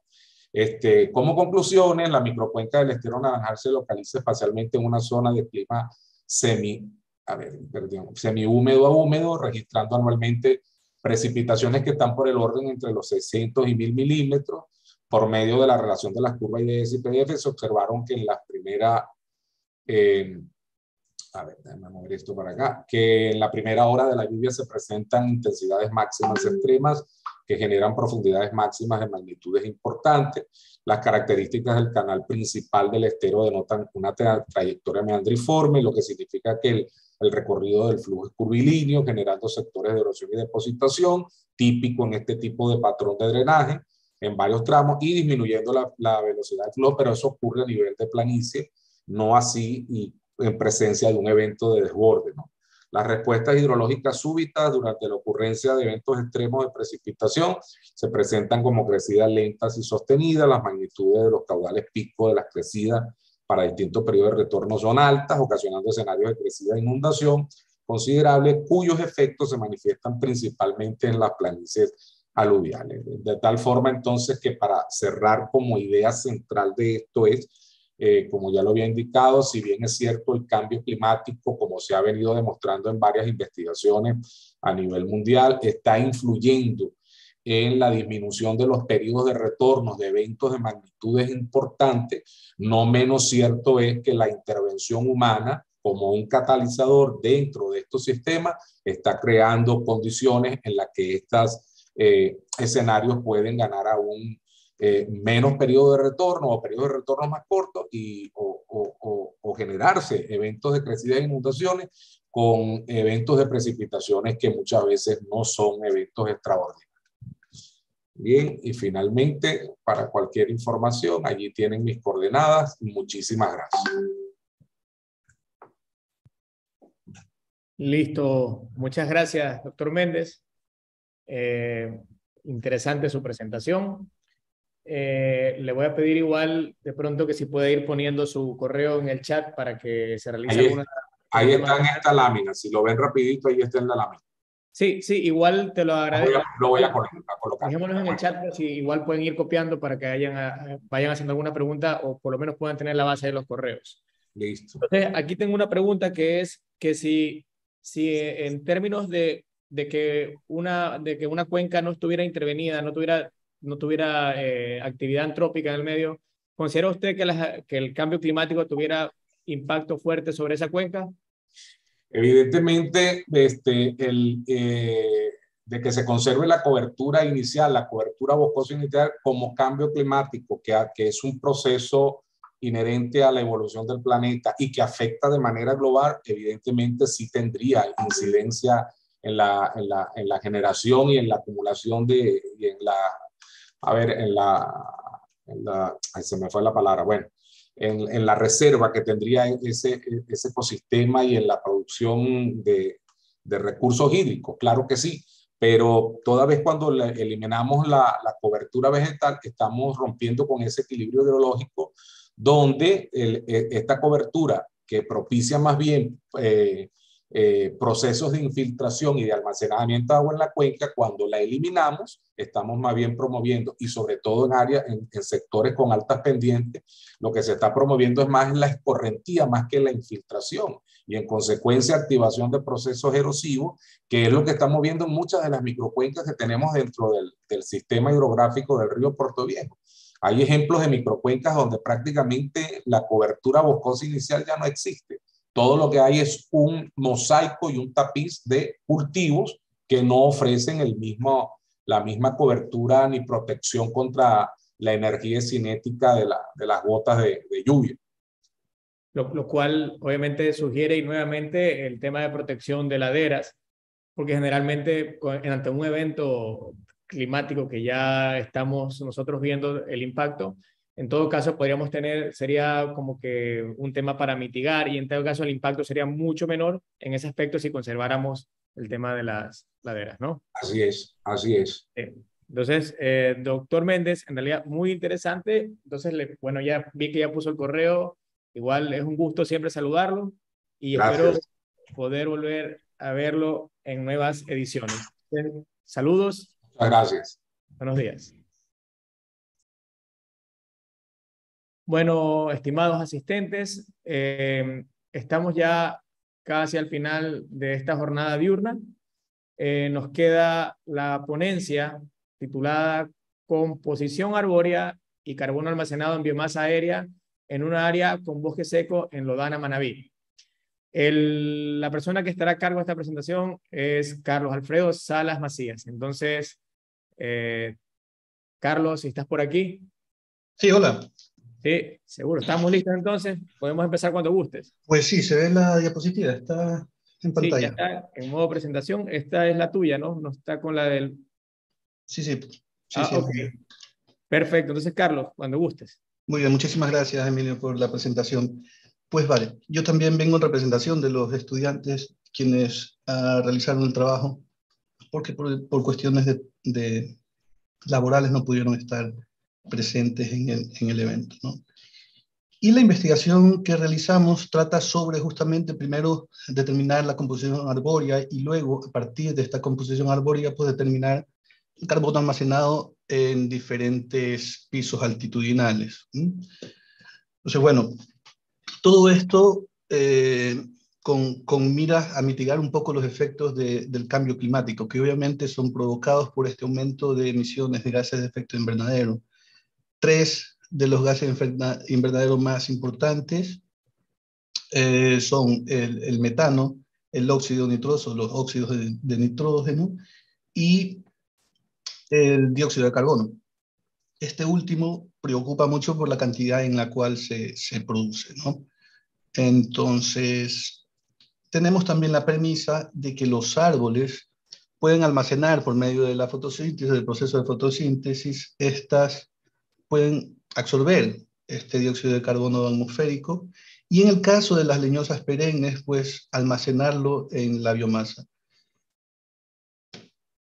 En fin, en un bosque o en un sistema de producción donde también se puede hacer estas, estas mediciones, existen eh, tres principales depósitos de carbono que tienen subdivisiones, pero a grosso modo eh, se puede encontrar carbono en biomasa viva, en materia orgánica muerta y también en suelo. Son los tres grandes depósitos que tienen sus subdivisiones también. Todo esto a partir justamente de determinar algunos parámetros como abundancia, frecuencia, dominancia de las especies que integran el, el, el, área y a partir de ello pues determinar un índice de valor de importancia para determinar cuáles son las especies más importantes, cuáles son las especies que podrían almacenar más carbono justamente por eh, mayores valores en estos parámetros calculados. En fin, la investigación se llevó a cabo en un área con bosque estacionalmente seco en la parroquia Ludana del Cantón Santana, justo en los predios de la Universidad Técnica de Manaví. Lo que hicimos fue implementar 24 parcelas de muestreo de 500 metros cuadrados cada uno, ubicándolas en seis pisos altitudinales. ¿no? Los pisos altitudinales en esta área van desde los 50 metros sobre el nivel del mar hasta los 320, si no me equivoco. Entonces pusimos seis parcelas, ah, perdón, cuatro parcelas en cada uno de estos pisos altitudinales y determinamos, medimos a los individuos que tenían mayor, eh, un DAP mayor a 5 centímetros de, eh, de DAP, medimos altura también y determinamos a partir de esto pues abundancia, frecuencia, dominancia y luego el índice de valor de importancia. Para las estimaciones de carbono, de hecho, utilizamos un, una ecuación alométrica, que es un método indirecto, que ha sido ya utilizada en algunos otros trabajos en Ecuador. Un, ejemplo que les podría dar es la Evaluación Nacional Forestal, allá por, mediados del, del, alrededor del 2015-2016, se realizó, se realizó esta, esta investigación, ¿no? Bien, eh, con respecto a los resultados, obtuvimos, primero que nada, 431 individuos, 16 familias, eh, divididos en 29 géneros y 31 especies. Uh, pudimos determinar que hay muchos individuos que están ubicados en clases diamétricas bajas, como vemos en esta imagen de acá, hay demasiados individuos, de hecho, que están en las clases diamétricas bajas. Pero esto es normal un bosque, esta forma, cuando se grafica las abundancias absolutas de los individuos, pues eh, en un bosque que tiende a estar en regeneración, pues siempre va a tener esta forma de una J. ¿Okay? Entonces, esto asegura también que si el bosque se mantiene en las condiciones eh, sin, sin, sin, mayor perturbación, podría eh, a futuro tener individuos mucho más, uh, más con mayor diámetro. ¿no? Entonces, bueno, otra cosa que nos pareció bastante interesante era probar mediante análisis multivariante las, las relaciones que existen entre las especies y entre estos pisos altitudinales. En términos generales no pudimos comprobar, no podemos comprobar con este 60% de variabilidad que pudimos encontrar en esta gráfica, que exista una correlación muy alta entre pisos altitudinales y especies mm, específicas. Sin embargo, Existen especies que podrían tener mayor preferencia a ciertos pisos altitudinales, como por ejemplo vemos acá, estas especies de coma, cena, entre otras, están más asociadas a altitudes mayores a 300 metros sobre el nivel del mar. algunas otras prefieren pisos altitudinales mucho más bajos, como estas que están acá. algunas prefieren pisos altitudinales medios y otras, pues, un, un, intermedio entre ambos. Sin embargo, en términos generales, la mayoría de las especies se encontraban en todos los pisos altitudinales, en mayor o menor medida. Esto, pues como les comentaba, no pudo, no pudimos comprobar que existe una relación tan fuerte entre estos pisos altitudinales. Quizás lo que podemos ver, sacar de esta gráfica es que eh, los pisos altitudinales que usamos, utilizamos son muy pequeños, ¿no? Utilizamos pisos de un rango de 50 metros, que es muy poco, y lo comprobamos acá cuando en este clúster pues, se, ubican estos dos pisos, al igual que acá. Bien, con respecto al carbono, pudimos determinar que el área puede almacenar de entre 3,12 a 12.76 megagramos de carbono por hectárea. Y el 89% de este carbono está contenido en solamente 10 de las 31 especies que encontramos. Pues bueno, este asunto y, con respecto a lo que menciona la literatura a nivel internacional, con un rango de, en este tipo de bosque de 25 a 60 megagramos de carbono por hectárea, y en el Ecuador, la Evaluación Nacional Forestal menciona que está el valor del carbono almacenado por hectárea en este tipo de bosque está alrededor de 37. Los valores que encontramos básicamente se deben a este elemento de acá, a las clases diamétricas, la distribución diamétrica de los, de los individuos dentro del área. Obviamente teníamos individuos con diámetros muy pequeños que no tenían una, una, un tamaño, una biomasa necesaria como para almacenar más carbono. Ahora, eh,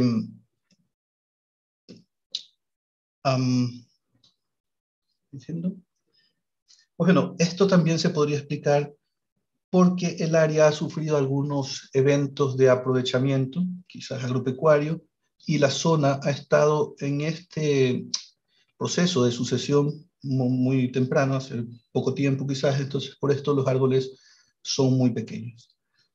Bien, como conclusión, podríamos mencionar que las especies que tienen valor, mayor peso ecológico fueron uh, Glaucosperma vitifolium, que es el botutillo, Cordialutea es el, el, el moyuyo y Georgia espinosa, que son especies que se presentan mucho, no solamente en, en, esta parte del bosque estacionalmente seco, sino en algunos otros, eh, otros cantones también, en otras parcelas hemos probado que también existen la misma, las mismas especies que dominan el área. ¿no?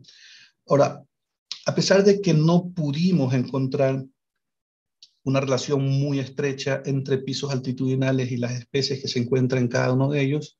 Existen algunas especies que podrían tener alguna relación eh, con pisos altitudinales y entre ellas también. De hecho, comprobamos en algunos casos que existían especies, siempre que aparecía en una parcela, aparecía a otro lado. Vale. Y bueno, yo creo que eso sería todo. Muchísimas gracias por la atención. Cualquier pregunta, con gusto. Muchas gracias, doctor Salas. Sí, aquí tengo de momento dos preguntas, igual como le he venido yo este, pidiendo a los demás ponentes, por favor, igual si puede colocar su correo en el chat, le agradecería mucho. Mientras tanto, le voy leyendo la primera pregunta. ¿Cuál es la capacidad de secuestro de carbono del bosque en términos anuales?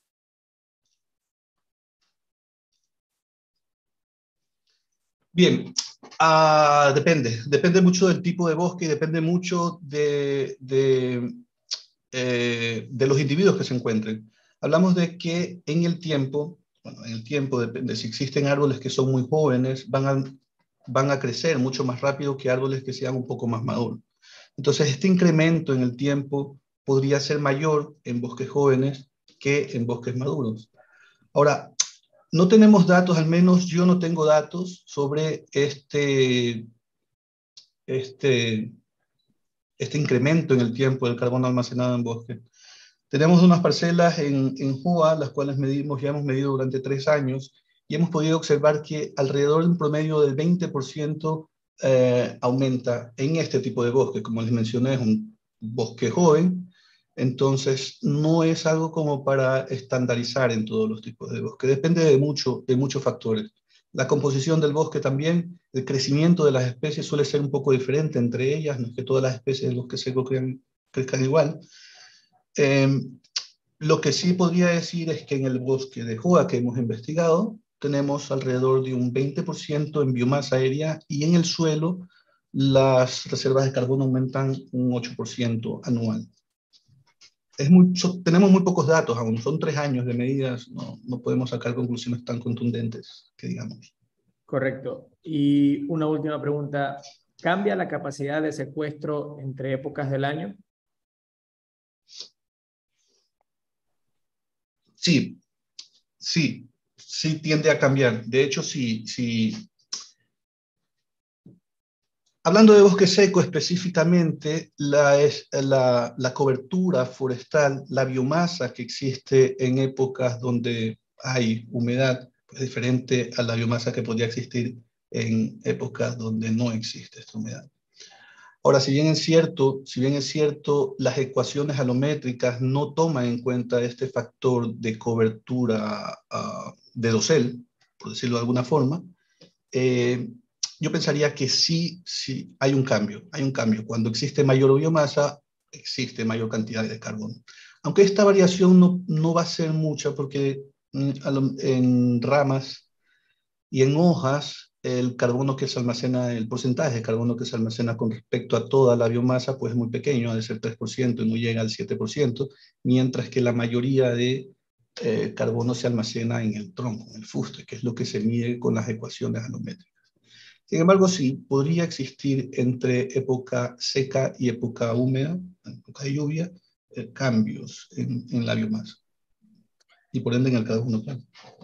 Ok, muchas gracias. Aquí hay una pregunta más que vi que estaba en la conversación, igual eh, la, la, menciono, que eh, ¿qué especie prevaleció o prevalece sobre otra en este tipo de bosque donde se realizó el estudio? Bien, eso depende mucho también, depende mucho de la, de la actividad que haya habido históricamente en el sitio. En este estudio encontramos que Clocospermum vitifolio está sobre todas las demás especies.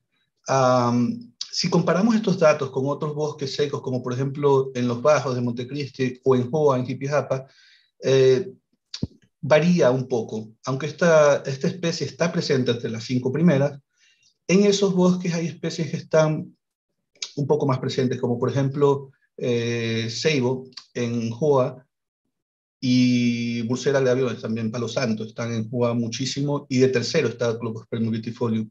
Sin embargo, acá en los bajos, Leucospermos vitifolium fue más, más, abundante. Esto tiene que ver mucho con, la, como les mencionaba, la actividad que se realiza históricamente en el área. ¿no? Eso modifica un poco la composición del mismo bosque también. Ok, muy interesante. Ah, bueno, hay una pregunta, me parece, del doctor Williams Méndez una pregunta por curiosidad, porque no precisamente soy del área de, atrapar carbono, pero este, eh, primero que nada, felicitaciones por tu trabajo, Carlos Alfredo, fíjate. Gracias. Eh, he visto que trabajaste en bosque seco, ¿no? Bosque seco, y lo primero que me llamó la atención de allí, que vi una, una diversidad bien interesante, porque a veces pensamos que los bosques secos no son muy, biodiversos, ¿no?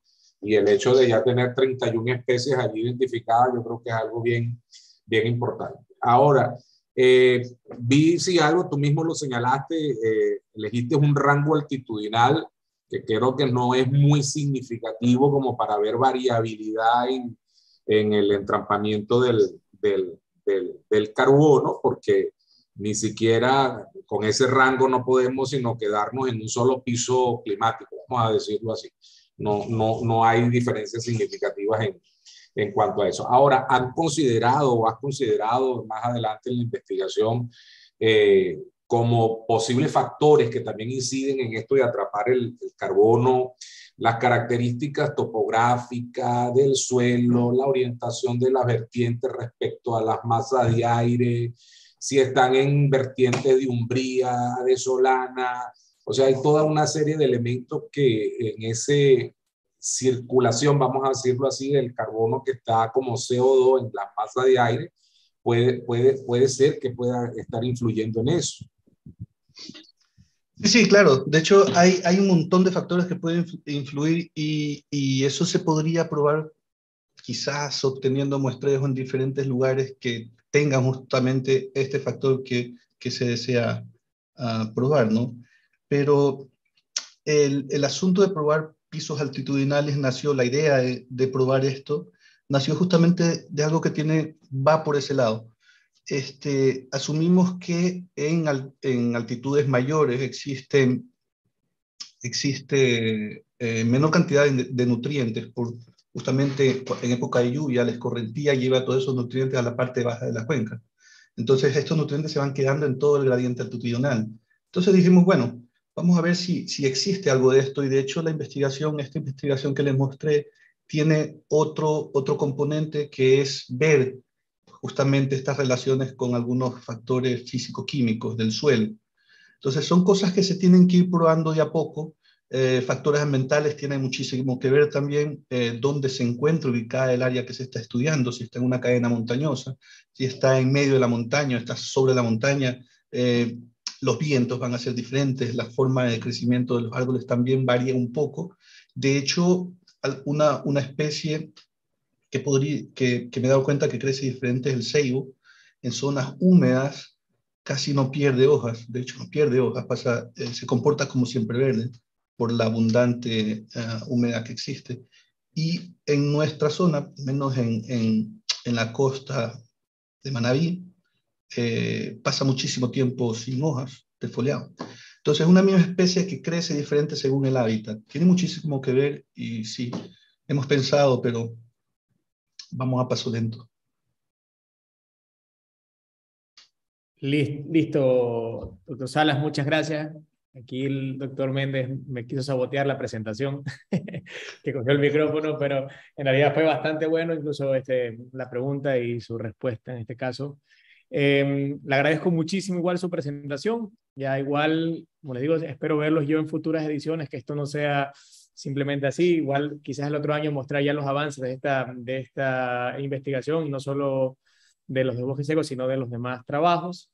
Eh, con todo esto, igual yo quisiera decirle a todos los asistentes que mm, les agradezco su participación y que de antes de dar culminada esta jornada diurna, yo quisiera recordarles que en la tarde continuaremos con el evento mismo, o sea, esta fue la jornada diurna, diurna y tendremos en la tarde tres ponencias y de estas tres ponencias una va a ser magistral y esto será a partir de las tres de la tarde.